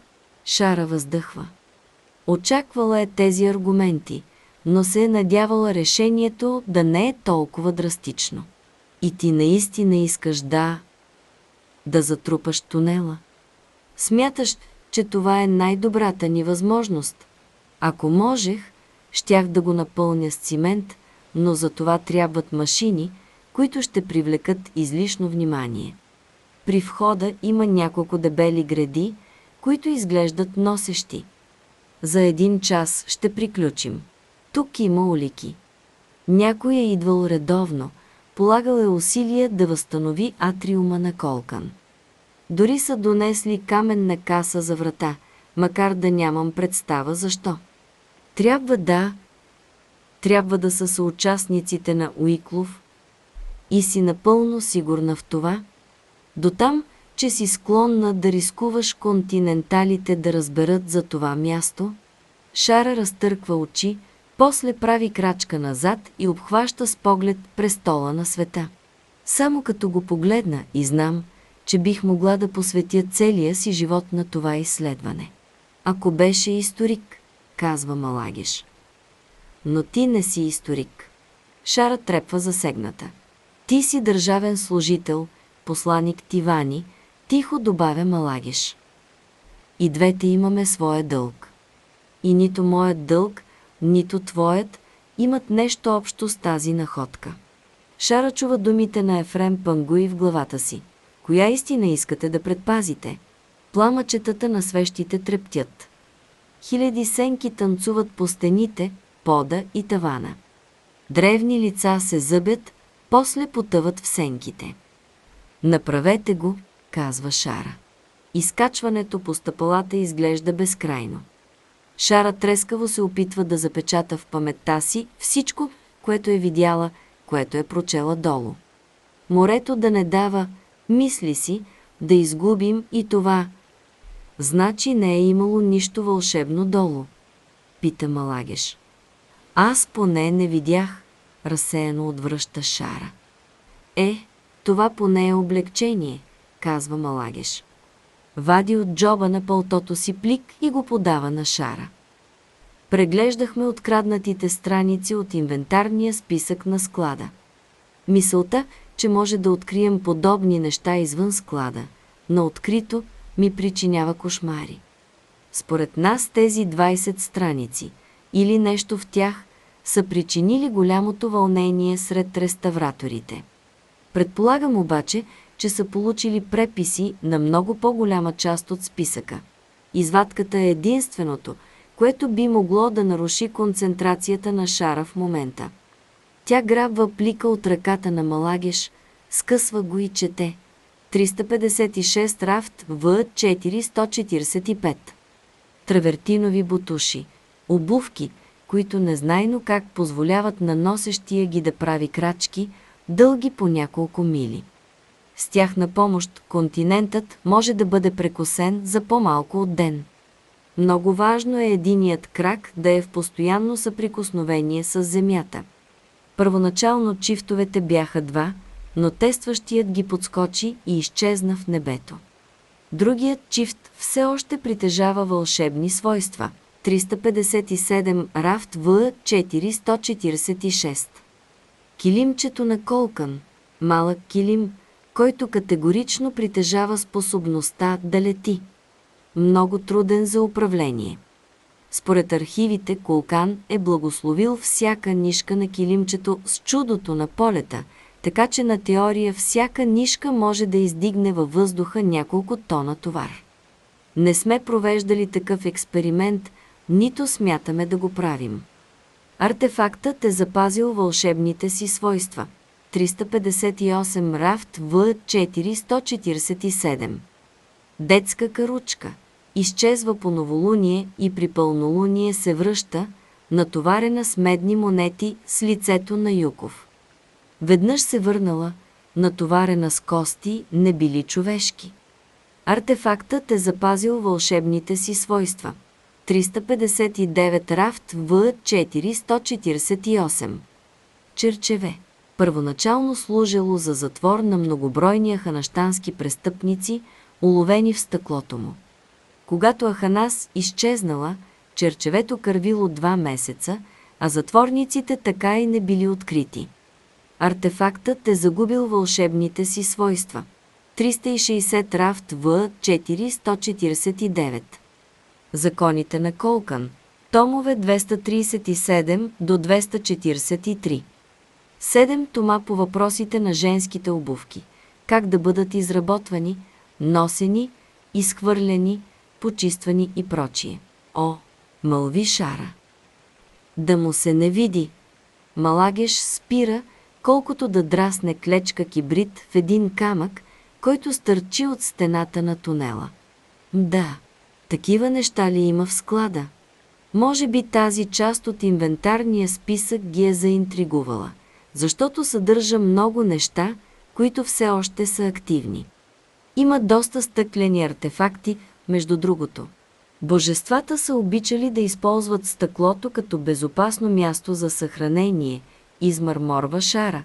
Тоест, ами, съхранявали са много неща в стъкло, крили са ги там. Божествените жреци владеели куп освобождаващи чудеса. Изпращат обикновено стъклено манисто, после правят съответното чудо, чупят манистото и бум – тя размахва ръце, появяват се купчини злато, имение, замък, невяста или каквото се сетиш. Продължава да чете, погледът и се плъзга по страниците, съзнанието й се мята между изумление и ужас. Ако не е ярката светлина от свещниците в стаята на мховоста, сигурно изобщо не би забелязала, че са излезли от тунела. Малагиш кимва на двама млади войници, въоръжени с брадви и тежки чукове, и казва «Действайте!» Войниците влизат в тунела. Шара чете последната страница. Ръцете й се свиват в юмруци, хартията едва не се разкъсва на две. Не, казва тя. Чакай, спрете.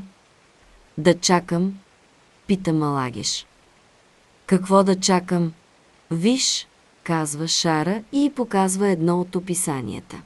372 рафт В 562 Ухо на Юков Каменна каса за врата с релефни изображения, но без врата, железни колелца в основата.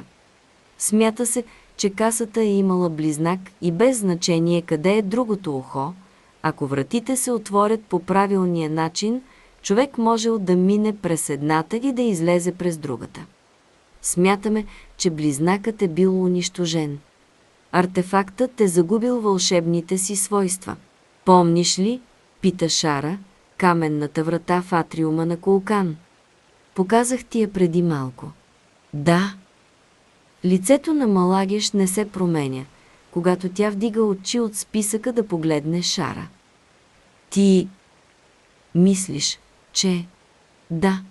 Малагеш млъква замислено, после казва, значи ако онова долу е другото ухо. И ако близнакът му още е в склада. Двете се взират една в друга още секунда. После хукват обратно по стъпалата на тунела. Зигрут и другите двама войници ги зяпват объркано, после тръгват след тях. Като се вземе всичко предвид, казва Малагеш оценките. Пак ми се струва най-мъдро да разрушим тази проклетия. Шара е вдигнала свещника високо пред себе си да огледа каменната каса. Предпочиташ да си тръгнем, без да сме разбрали дали някой е използвал вратата, за да стигне до склада. Малагеш дръпва толкова силно от поретата си, че се чува звук. Може да са отишли там, да са пипнали нещо, дето не е трябвало да го пипат, и да са умрели. Ако е така, лично аз държа да разполагам с труп. Шара оглежда напрегнато релефните изображения, търси думи, буква, ръчка, бутон. Макар, че те едва ли са имали нужда от механизъм, напомня си. Механиката на вълшебното е била далеч по-абстрактна по своето естество. Зигрут е легнал на пода и зяпа нагоре, все едно се намира на слънчев склон, а над него има синьо небе. Може би, казва той, трябва да направиш нещо на другата врата. Дано да си прав, казва Шара. Цитира няколко стиха от Юкощава, но вратата си остава безучастна. Ако е така, този вход би бил на практика безполезен. Стига охраната на склада да е добра.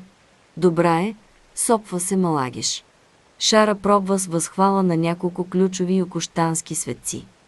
Вратата не се трогва.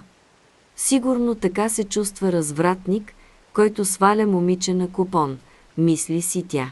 Боя се, казва след малко, че подходът ми е неправилен. Малагеш преглъща широка прозявка. И какво те навежда на тази мисъл? Шара зарейва поглед към една далечна пиктограма в атриума на Юков, изобразяваща оргия с изумителен брой участници. Юков не е бил почитател нито на думите, нито на показната лоялност. Винаги е предпочитал действието, дивата импровизация. Начело на оргията стои фигура с заострена шапка и държи стомна с вино и нож.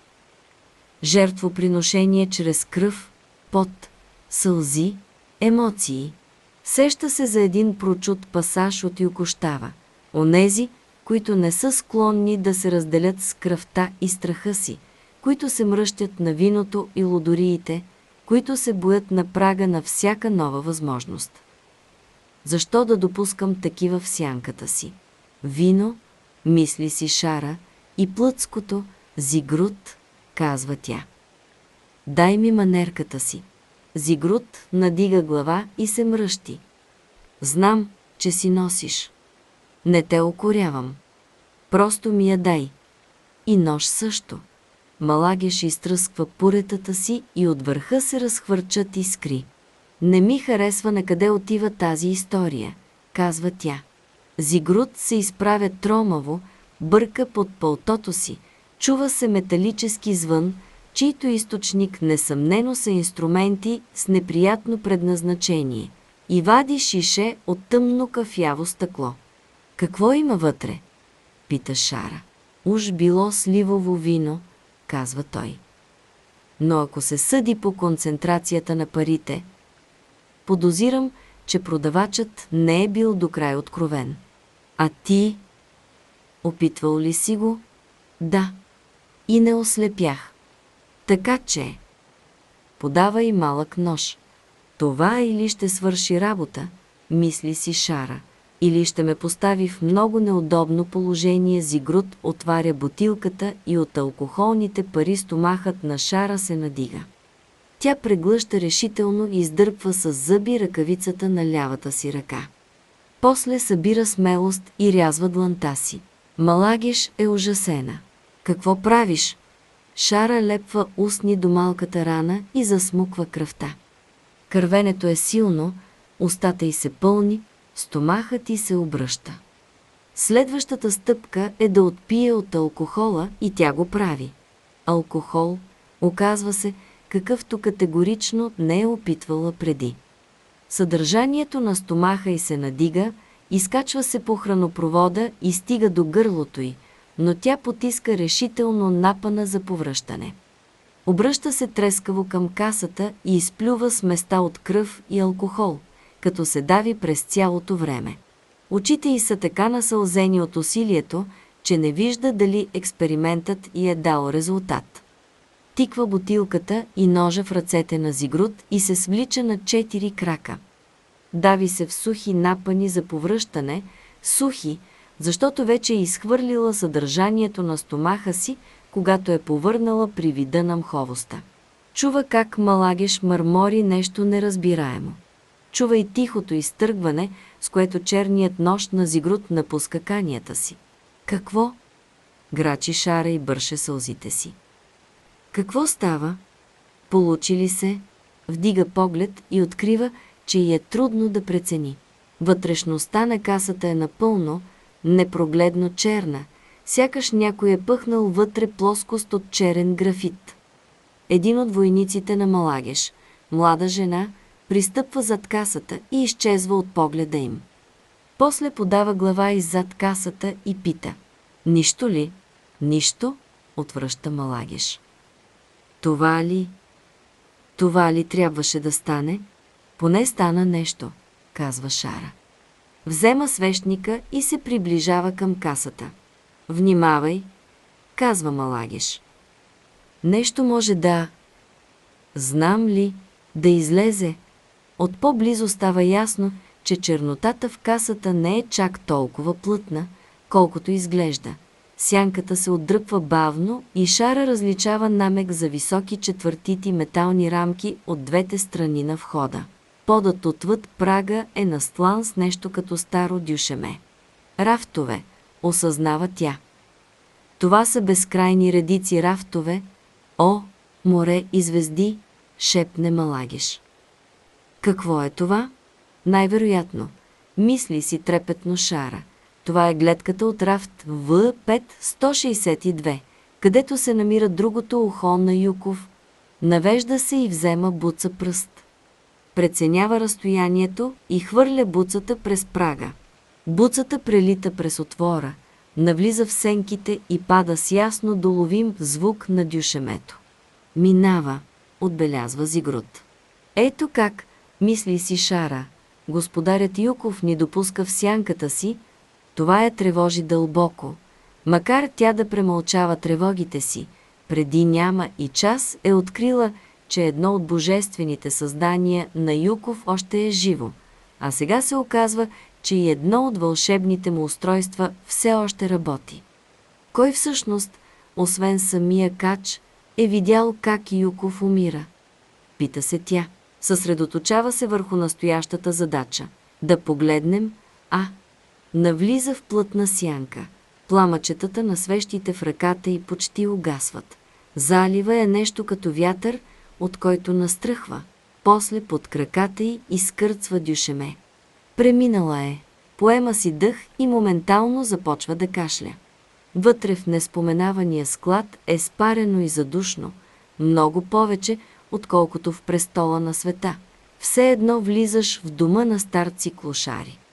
Шара кашля мъчително, забила нос в окървавената кърпичка, с която е превързала порязаната си длан. Няма ли вентилация тук? Малагеш е вързала кърпа пред лицето си, преди да влезе. И защо да има мамка му? Казва тя с раздразнение.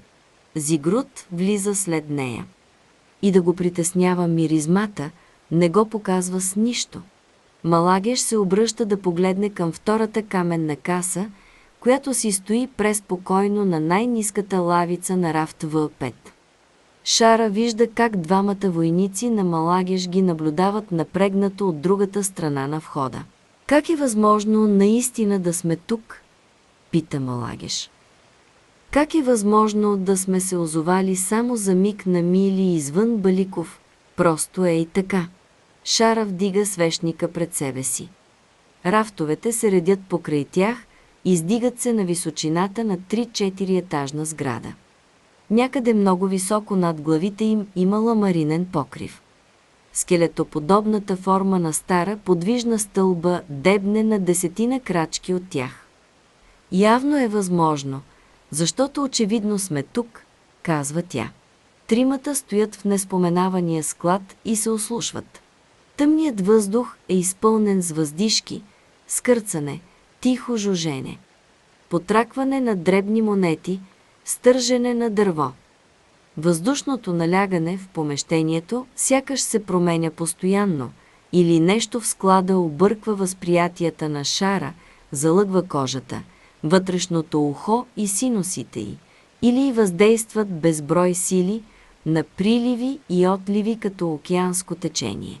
Колко ли чудеса са тук, с нас, пита се Шара, колко ли функционират тихо в мрака, колко от вълшебствата на божествените все още ехтят в това място. Зигрут сочи надолу.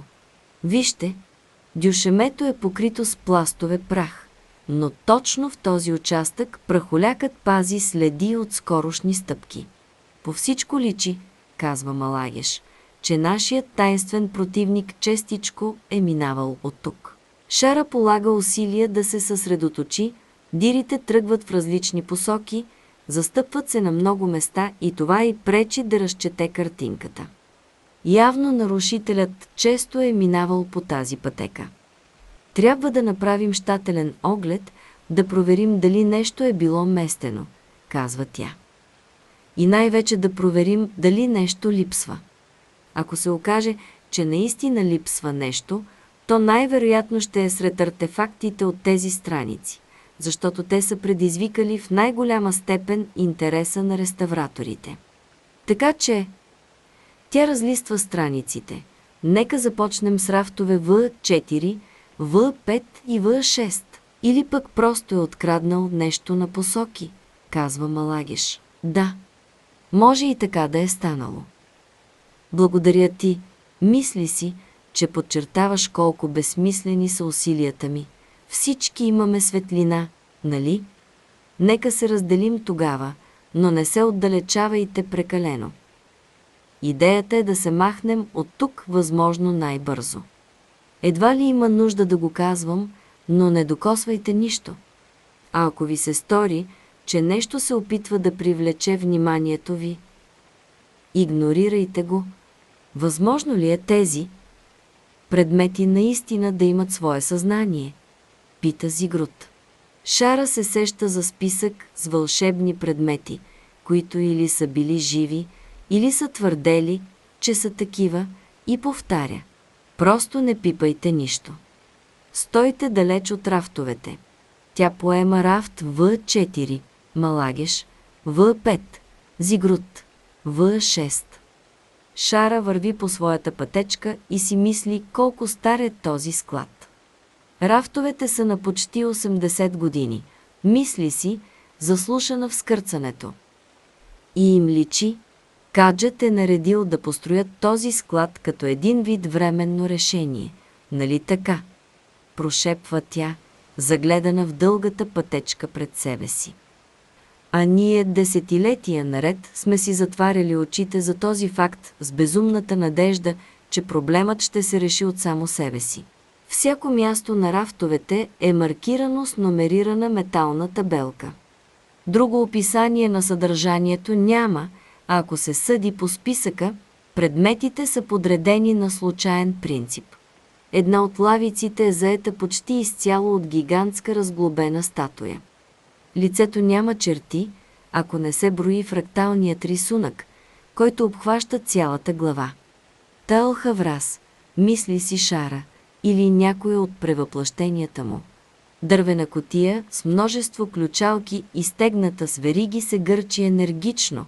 От вътрешността и се чува трополене, сякаш куп малки създания с остри ногти стържат по дървото.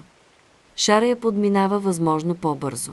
На лавица над главата има златен меч, който грее със странна светлина. До него има 12 къси дебели стъклени колони без никаква украса.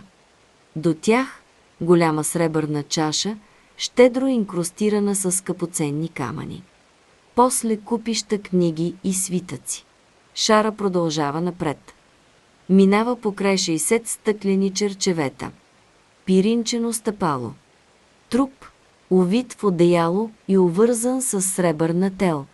Краят на пътечката между рафтовете не се вижда. Вълшебни предмети, мисли си тя, създавани в продължение на над 1500 години. Историкът в нея казва, какъв късмет, че каджът се е сетил да ги съхрани, оперативният агент казва, трябвало е да ги унищожи до последното, посланик, чува се гласът на Малагеш. Да, каза ли? Каза ли нещо току-що? Не. Кратка пауза. Поне така мисля. Дълго мълчание. Шара се заглежда в колекция от сребърни палци. Възможно ли е тези неща да ти говорят в главата? Пита Малагиш. Тук всичко е възможно, казва Шара. Не обръщай внимание. Кофа пълна с детски обувки. Бастун, направен от конски косми. Писалище, пълно догоре с древни пергаменти. Плътнена маска, която наподобява лицето на старец. Дърворезба на мъж с седем еректирали члена с различна дължина. Шара полага усилие да се съсредоточи, но съзнанието й препуска през наученото, опитва се да свърже артефактите с стотиците континентални легенди, които е изучавала през годините. Това ли е възелът, който задържал грамотевична буря в себе си и когато го развържеш, се изливал безконечен дъжд? Възможно ли е това да е лютня на хуфтарик от двора на Талхаврас, от чийто звук гоблените оживявали? Дали онова там не е червената стрела, направена от Вуортия, която пронизала търбуха на разрушителна вълна и я превърнала в топло океанско течение? Не, чува се гласът на Зигрут. Не, не е вярно. Зигрут, казва Шара. Добре ли си? Тихо жужене на няколко метра от нея. Не, казва Зигрут. Това е лъжа. Шара хуква по пътечката и скоро вижда Зигрут, който стои от другата страна на един рафт и се взира в малко излъскано черно кълбо, което лежи в кадифеното гнездо на котия. Зигрут? Не, казва той, втренчен в кълбото. Аз се махнах от онова място. Вече, вече не съм там. Той добре ли е? Пита Малагеш. Зигрут, чуй ме, казва Шара. Те умряха, защото... Зигрут млъква, търси обяснение, защото се опитаха да ме наранят. Зигрут. Не, не, не, няма. Лъскавото черно кълбо се завърта леко наляво в кадифеното си гнездо. Прилича на куче, което крива глава, мисли си Шара, все едно казва, защо не? Защото аз, ожесточено казва Зигрут, не съм крал. Зигрут повишава глас Шара. Той примигва стреснато. Черното кълбо потъва леко в кадифето си, разочаровано сякаш, че са му прекъснали играта. Зигрут се обръща бавно да я погледне. Какво? Какво става? Ти си тук, казва Шара. Тук, в склада, с мен. Той объркано разтрива слепоочията си. Нещата тук са... Нещата тук са много стари, обяснява Шара. И според мен са отекчени. Сякаш се хранят едно с друго. Като риби в пресъхващ вир. Не личи нещо да липсва, ръмжи той. Рафтовете са пълни. Прекалено пълни, ако питаш мен. И при мен е така, обажда се Малагеш от съседната пътечка. Не държиш да се катерим с стълбата, нали? Личи ли стълбата да е била местена? Пита Шара. Огледай пръха по пода. Пауза. После. Не. Значи търсим нещо на долните лавици. Шара свежда поглед към ниските лавици от двете страни на своята пътечка и продължава да търси. Четири газени лампи от пиринч. Лакирана дъска без орнаменти. Детски кукли. Чекрък, чието колело се върти самичко. После, на последното място, точно пред нея. Нищо. Може би нищо. Или поне нищо, което тя да може да види. Нещо липсва. Тръгва към празното място. Съзнанието й вече е привикнало към гледката на чудати неща, която периферното й зрение препраща постоянно, затова тя не обръща внимание на тази информация. Докато пристъпва към празното място, я спохожда разсеяна мисъл. Не видях ли нещо лъскаво на пода току-що? Жица. Усеща съпротивление при единия си глезен. Дръпване. После нещо се скъсва с тъничък звук. Метално дрънчене от съседния рафт. Мъничък стоманен ключ се търкулва по дъските на пода. В същия миг зигрут крясва. Залегнете. Вълмо черен дим плъзва по пътечката вдясно от нея. После цъфва огнено цвете, последвано от взрив. Гореща вълна я облива отдясно, отнася я. Блъсва я силно в лавиците отляво, древни съкровища литват във въздуха. Кожена турба се превърта и изплюва безкраен поток от златни монети. Кълбо светла панделка пада на земята и се превръща в листа. Прах, метал и старо дърво се въртят около шара. Тя пада на пода, драпа към някаква лавица, но не може да се изправи. Вдясно от нея бушува пожар.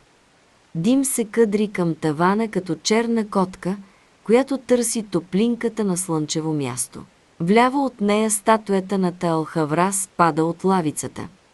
Зигрут се появява от някъде и коленичи до шара. Добре ли си? Косата ти е поупърлена. Що за проклето чудо беше това? Простенва шара. Никакво чудо не беше, казва той и докосва главата й отстрани. Мина. Запалителна, струва ми се. Какво става, мамка му? Крещи Малагеш. Някъде в мрака се обаждат множество тънки гласчета. Пламъчета танцуват по прахоляка, прехвърлят се на най-долната лавица, полазват овития с одеяло труп. Трябва да се махнем, казва Зигрут. Това място е толкова старо и сухо, че ще изгори за минути. Шара поглежда към малчните пламъци. Рафтът вдясно от нея вече гори почти целият. Имаше празно място, казва тя, на онази лавица там. Нещо е било взето. Опитва се да посочи, но показалецът и не я слуша и се клатушка като пияница. Трябва да се махнем от тук, повтаря Зигрут. Чуват се силни припуквания.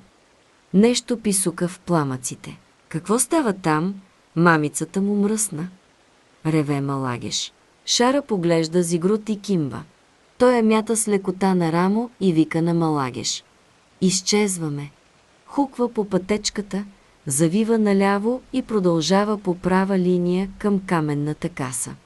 Рубинено червено сияние прозира през гората от високи рафтове. Десетилетия, мисли си Шара. Не, столетия. Повече. И всичко това ще изчезне, връщат се в престола на света и Зигрут оставя Шара на пода. Тя кашля дълго, после пита със слаб глас. Много ли съм зле? Той я кара да раздвижи пръстите на ръцете и краката си. Тя го прави. Добре си горе-долу. Едната ти вежда е здравата опърлена. Част от косата ти е изгоряла, а лицето ти е червено.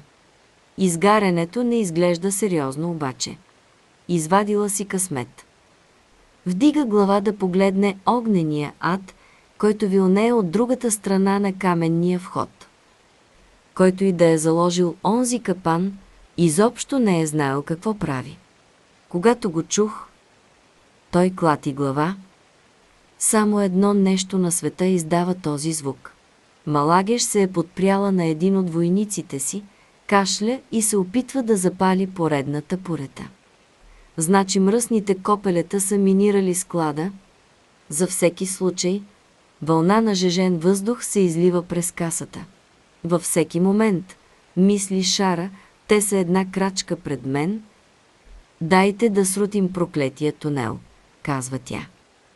И да приключваме с това проклето място. В мрака на склада легенди и съкровища се гърчат и умират в пламъците. Хиляди книги се превръщат в накъдрена пепел. Огънят изяжда картини отвътре навън. Разтопен восък от множеството свещи по рафтовете се стича на локви и образува разкривена дъга върху дървените дъски. В по-дълбоките сенки невидими гласове проплакват скръбно. Ала не всички предмети са обречени. Голяма глинена стомна на една лавица се къпе в жегата. Гледжосаната и повърхност е изписана на гъсто с символи. Символи на сила, на удържане, на контрол. Нажеженият въздух топи мастилото на символите, той извира, напуква се и избледнява. Восъчният печат около тапата се стича разтопен по стените на стомната. Нещо вътре в съда започва да ръмжи, осъзнало, че затворът му отслабва. Стомната се клати. Пада от лавицата и се пръсва на пода. Мрак се излива от щупената стомна. Съдържанието й бързо се разширява, събаря рафтовете по пътя си като плочки за домино. Доскорошният пленник продължава да расте, докато не изпълва почти цялата височина на склада. Едно жълто око се отваря да попие пламъците, пушека, горящите рафтове. Пронизителен глас във високите регистри надава победоносен рев. Свободен! Свободен най-сетне! Най-сетне свободен! Ще познаеш болката. Добър съм с вас, деца мои, защото ви обичам.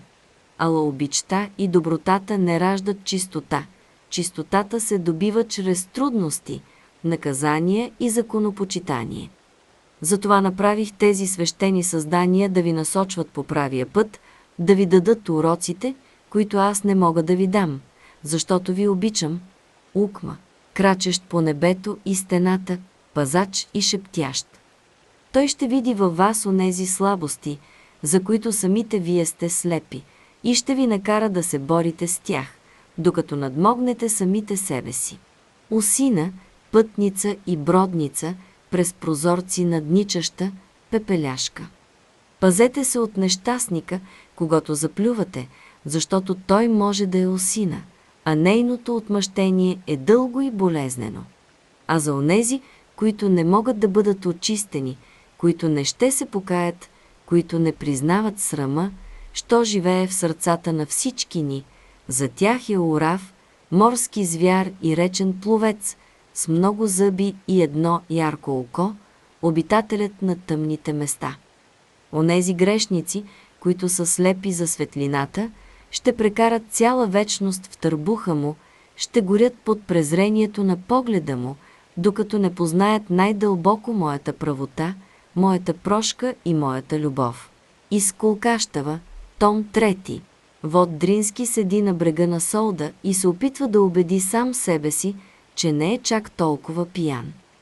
Изпил е почти цяла стомна сливово вино и си повтаря, че ако наистина е толкова пиян, виното ще му е загорчало в устата, а то все още е така прекрасно на вкус. А и виното му е нужно, за да оцелее в студа. Ами да, и е как се къдри на пара дъхът пред устата му. А реката влачи големи парчета лед, черната вода бълбука под по-тънките участъци, които са прозрачни като стъкло. Нощта е студена, значи му е простено, че си огажда свинцето, нали така? Поглежда на изток към стените на Баликов, гигантски бели скали, грейнали под лунната светлина. Мръщи се на стените и казва Тъйя. Оригва се. Простено ми е. Зяпа и бавно си дава сметка, че на хълма зад него има някаква странна примигваща оранжева светлинка. Огън. Един от складовете в комплекса изглежда гори. Леле-мале. Чеше се по главата. Трябва ли да извика някого? Към момента това му се струва трудно осъществимо, затова той отпива нова глътка, въздъхва и казва отново «Леле-мале». Тъмна сянка се появява при телената ограда около комплекса с складовете. Нещо грамаданско. Протяжен писък. Тъмният силует се блъсва в оградата, металната тел се опъва и се къса като струни на лютня. Нещо голямо се спуска бързо по склона. Вод решава, че е мечка. Трябва да е мечка, защото само мечка може да е толкова голяма и толкова шумна, да реве и да ръмжи така. Само дето звукът е като на нещо много, много по-голямо от мечка. Стига до дърветата и скача. Пияният го вижда само за миг. Съществото дими. Сигурно е избягало от пожара горе. Ала въпреки дима, вод различава нещо тлъсто и буцесто, нещо с много ногти и пипала, които лъщят под лунния светлик. Нещото скача в реката, ледът се пропуква под тежеста му с грамовен трясък и създанието изчезва в тъмната вода. Вод вижда нещо да се движи под леда, сега изглежда по-скоро дълго и гъвкаво, като красиво водно цвете. С грациозни движения създанието почва да плува към белите стени на Баликов. Обръща се за миг и вод зърва мека, жълта светлинка в единия му край, нежна фосфоресценция, от която го полазват ледени тръпки. Съществото изчезва във водите.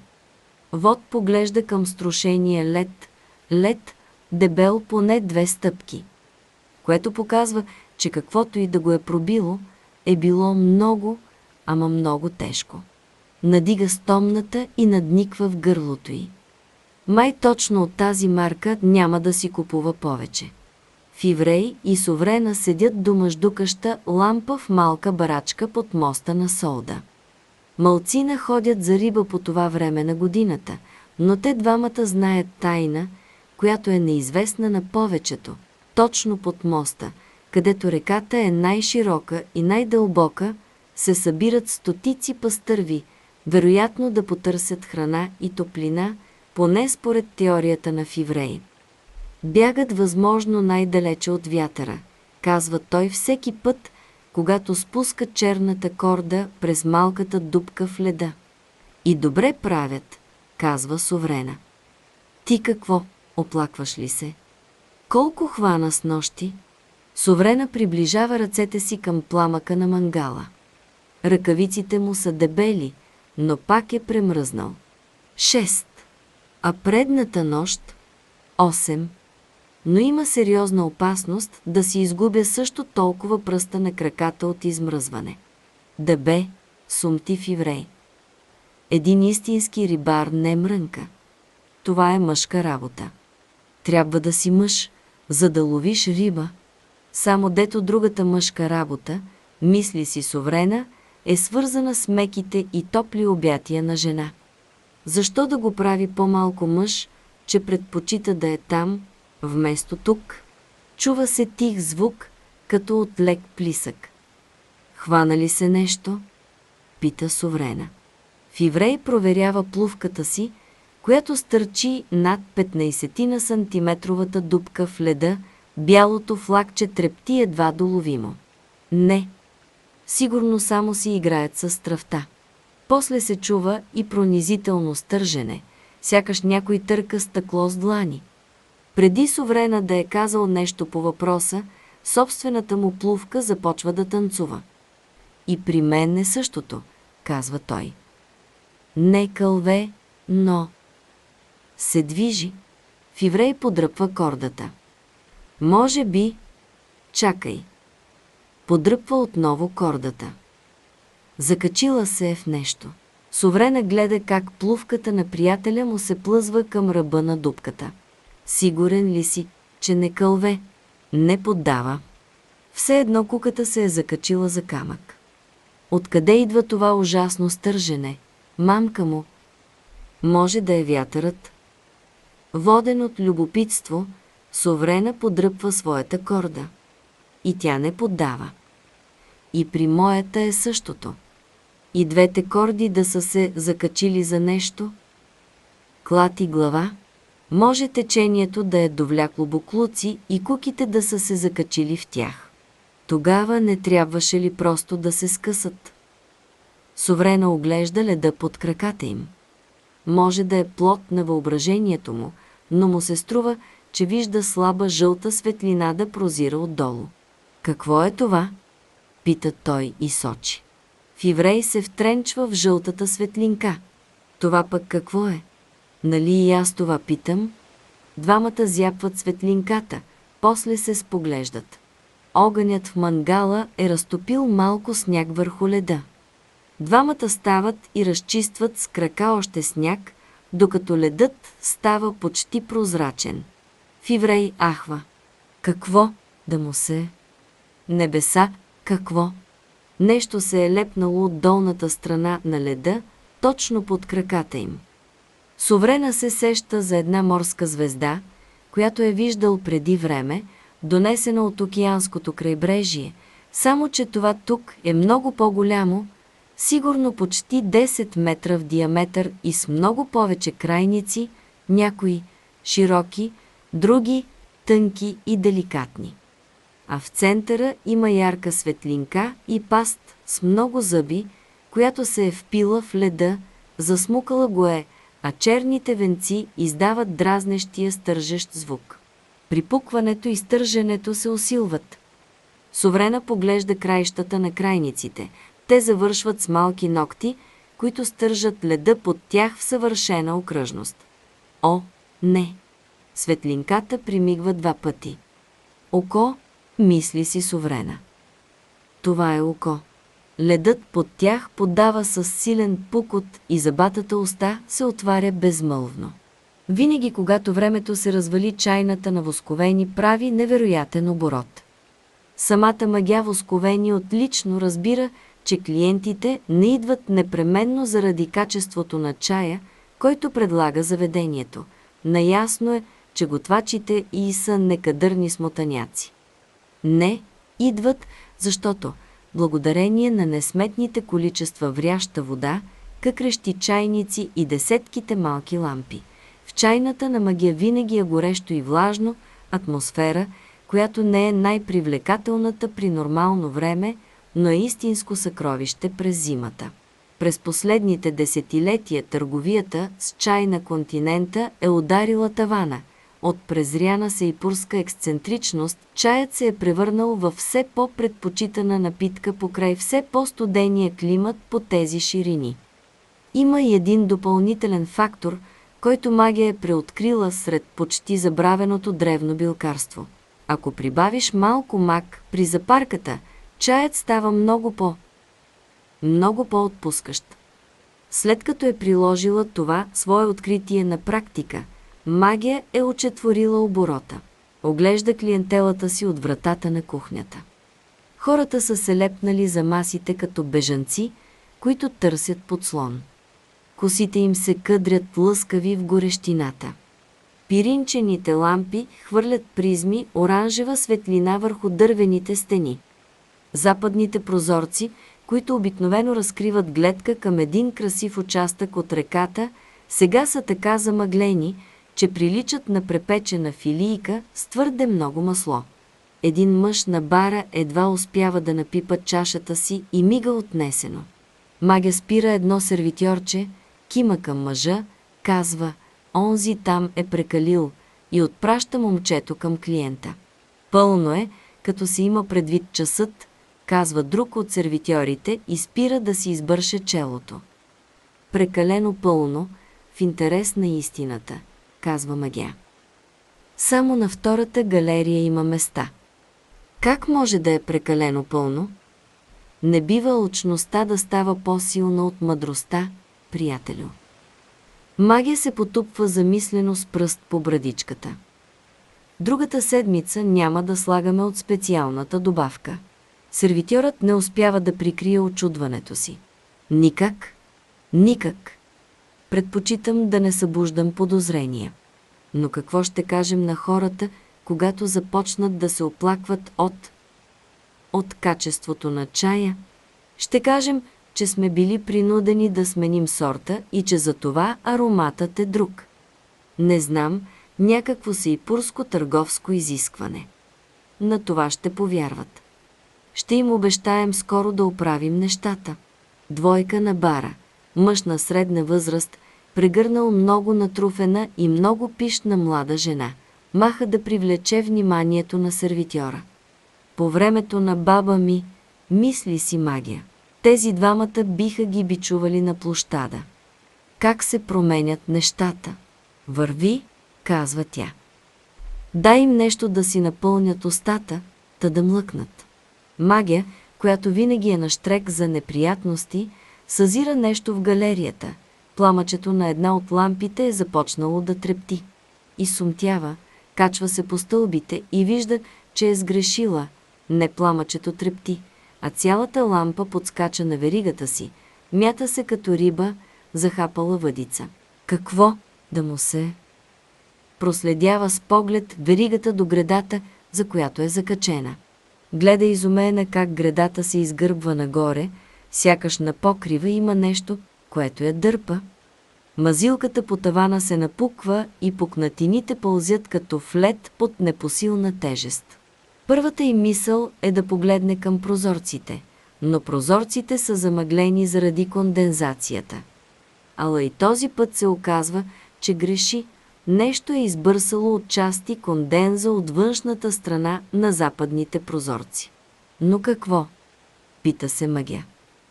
Нали сме на реката, на 10 метра над нея, отива при прозореца – изтрива влагата отвътре и надниква през полупрозрачното стъкло. Първото, което вижда, е единична жълта светлинка на речния бряг долу.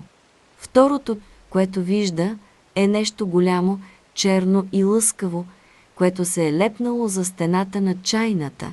Прилича на дървесен ствол, омазан с катран, но в същото време се движи, разгъва се и сякаш пълзи по стената.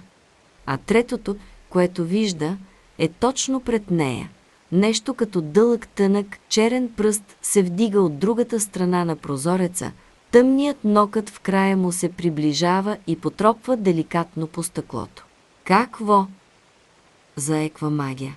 После се чува трясък, от тавана валят мазилка и трески, а безценната влажна топлина на чайна восковени изчезва в черното зимно небе, излита като балон през отвора, където допреди миг е имало покрив и горна част от стена. Магия мига срещу вятъра. Повечето клиенти само зяпат същисано, но някои започват да пищят. Долната половина на западната стена също се срива, полита към замръзналата река и повлича галерията с все магяво сковени. Докато пада, Магя вижда, че същата съдба е сполетяла и много от клиентите. Ще се размажем на леда, мисли си трескаво магия. Ще се разтечем като сурови яйца, ала в безкрайните секунди, докато се премята във въздуха, Маге вижда, че ледът всъщност не е там, под нея са само жълтата светлина, маса от гърчещи се пипала и една разкривена, пълна с зъби паст, която се отваря в очакване. Казах, че искам всички налични войници да помогнат на пожарните бригади. Крещи малагеш на долния етаж. Гледай да подчертаеш това възможно най-дебело в телеграмата. И обясни на ефрейтора, че ако доловя в действията му дори сянка от неохота по този въпрос, последствията ще са жестоки. Шара примижава в кабинета си. Малагеш е превзела всички кабинети на долния етаж – разпраща една след друга телеграми по всички телеграфи в посолството, сложила е постове на всички входове. При други обстоятелства би ръководила операцията от собствения си щаб, но посолството се е оказало много по-близо. Свържете се с генерал Ноор от Форт Съгреша, крещи Малагеш. Редно е да бъде уведомен за това, кажете му и че се нуждаем от подкрепление, всичко, което може да ни отдели. Уведомете ме веднага, щом получите отговор, дори изрично да съм казала да не ме прекъсвате. Шара разтрива слепоочията си и мърмори. Морето да ми е на помощ. Тази жена не може ли да говори без да вика? Няма нищо против, че Малагеш е поела командването в този критичен момент, а и случилото се е в нейната юрисдикция, което дава възможност на Шара да остане на страна. Ала тайничко и се иска Малагеш и хората й да се разкарат от посолството. Зигрут седи въгъла на кабинета и точи черния си нож. Стържещият звук сякаш става все по-силен, буквално ехти в главата й. Точно сега ли трябва да го правиш? Пита тя. Зигрут намалява натиска на острието върху точилото. Май не си в настроение. Едва не изгорях. Той вдига рамене и плюе върху ножа. Не ти е за пръв път? Да, но този път подпалихме и унищожихме стотици години безценна история. И съсква тя, понеже не смее да го изкрещи. Е, и, е, и. Това е най-големият провал в професионалната ми кариера. А аз не обичам провалите. Не съм свикнала да се провалям. Стърженето на острието в точилото се забавя още. Вярно е, че за пръв път правим такава грешка. Деде беше една. Откакто сме стъпили в Баликов, правим само грешки. Надига чашата си с чай, както моряк надига бутилка с уиски. Е, от друга страна, е добре да приключиш с грешките си наведнъж. Оптимизмът ти изобщо не ми помага, казва тя. Почти съжалявам, че дойдохме тук. Почти? Да, почти. Защото колкото и... Колкото и затънала в лайна да е тази операция, пак не бих я поверила на никой друг в Министерството. Само си помисли какво би станало, ако Комалта беше тук или Юсуф. Те още ли са живи? Мислех, че вече са им видели сметката. Именно. Тя става, отива при прозореца и го отваря. Имам нужда от чист въздух. Главата ми направо се пръска от този шум. Вдишва дълбоко, заслушва се, после разтърква отчаяно очи. Дори улиците тук крещят. Няма ли поне едно тихо място в този проклет град? Чакай, колко е часът? Зигрут застава до нея. Късно е. Много е късно за толкова шум. Крива глава. Това наистина са крясъци. Мислех, че преувеличаваш. Шара плъзга поглед по тъмните улици на Баликов. Какво става? Нов вой в нощта. Някой търчи по улицата долу и пищи. Нямам представа, казва Зигрут. Долу Малагеш гневно диктува отговор до генерал Ноор, че не ставало въпрос за пряко нападение, което би било заплаха за сигурността, но че Ноор трябвало да реагира сякаш е било пряко нападение, защото те имат нужда от съдействие веднага. Шара отваря прозореца до край. От към реката долита трясък. Над покривите се издига облак бял прах. Сграда ли се срути току-що? Пита тя. Още хора тичат по улиците. Прозорци светват, отварят се врати. Някакъв мъж пита високо какво става, повтаря въпроса си няколко пъти. Накрая му отговарят. Има нещо във водата. Във водата.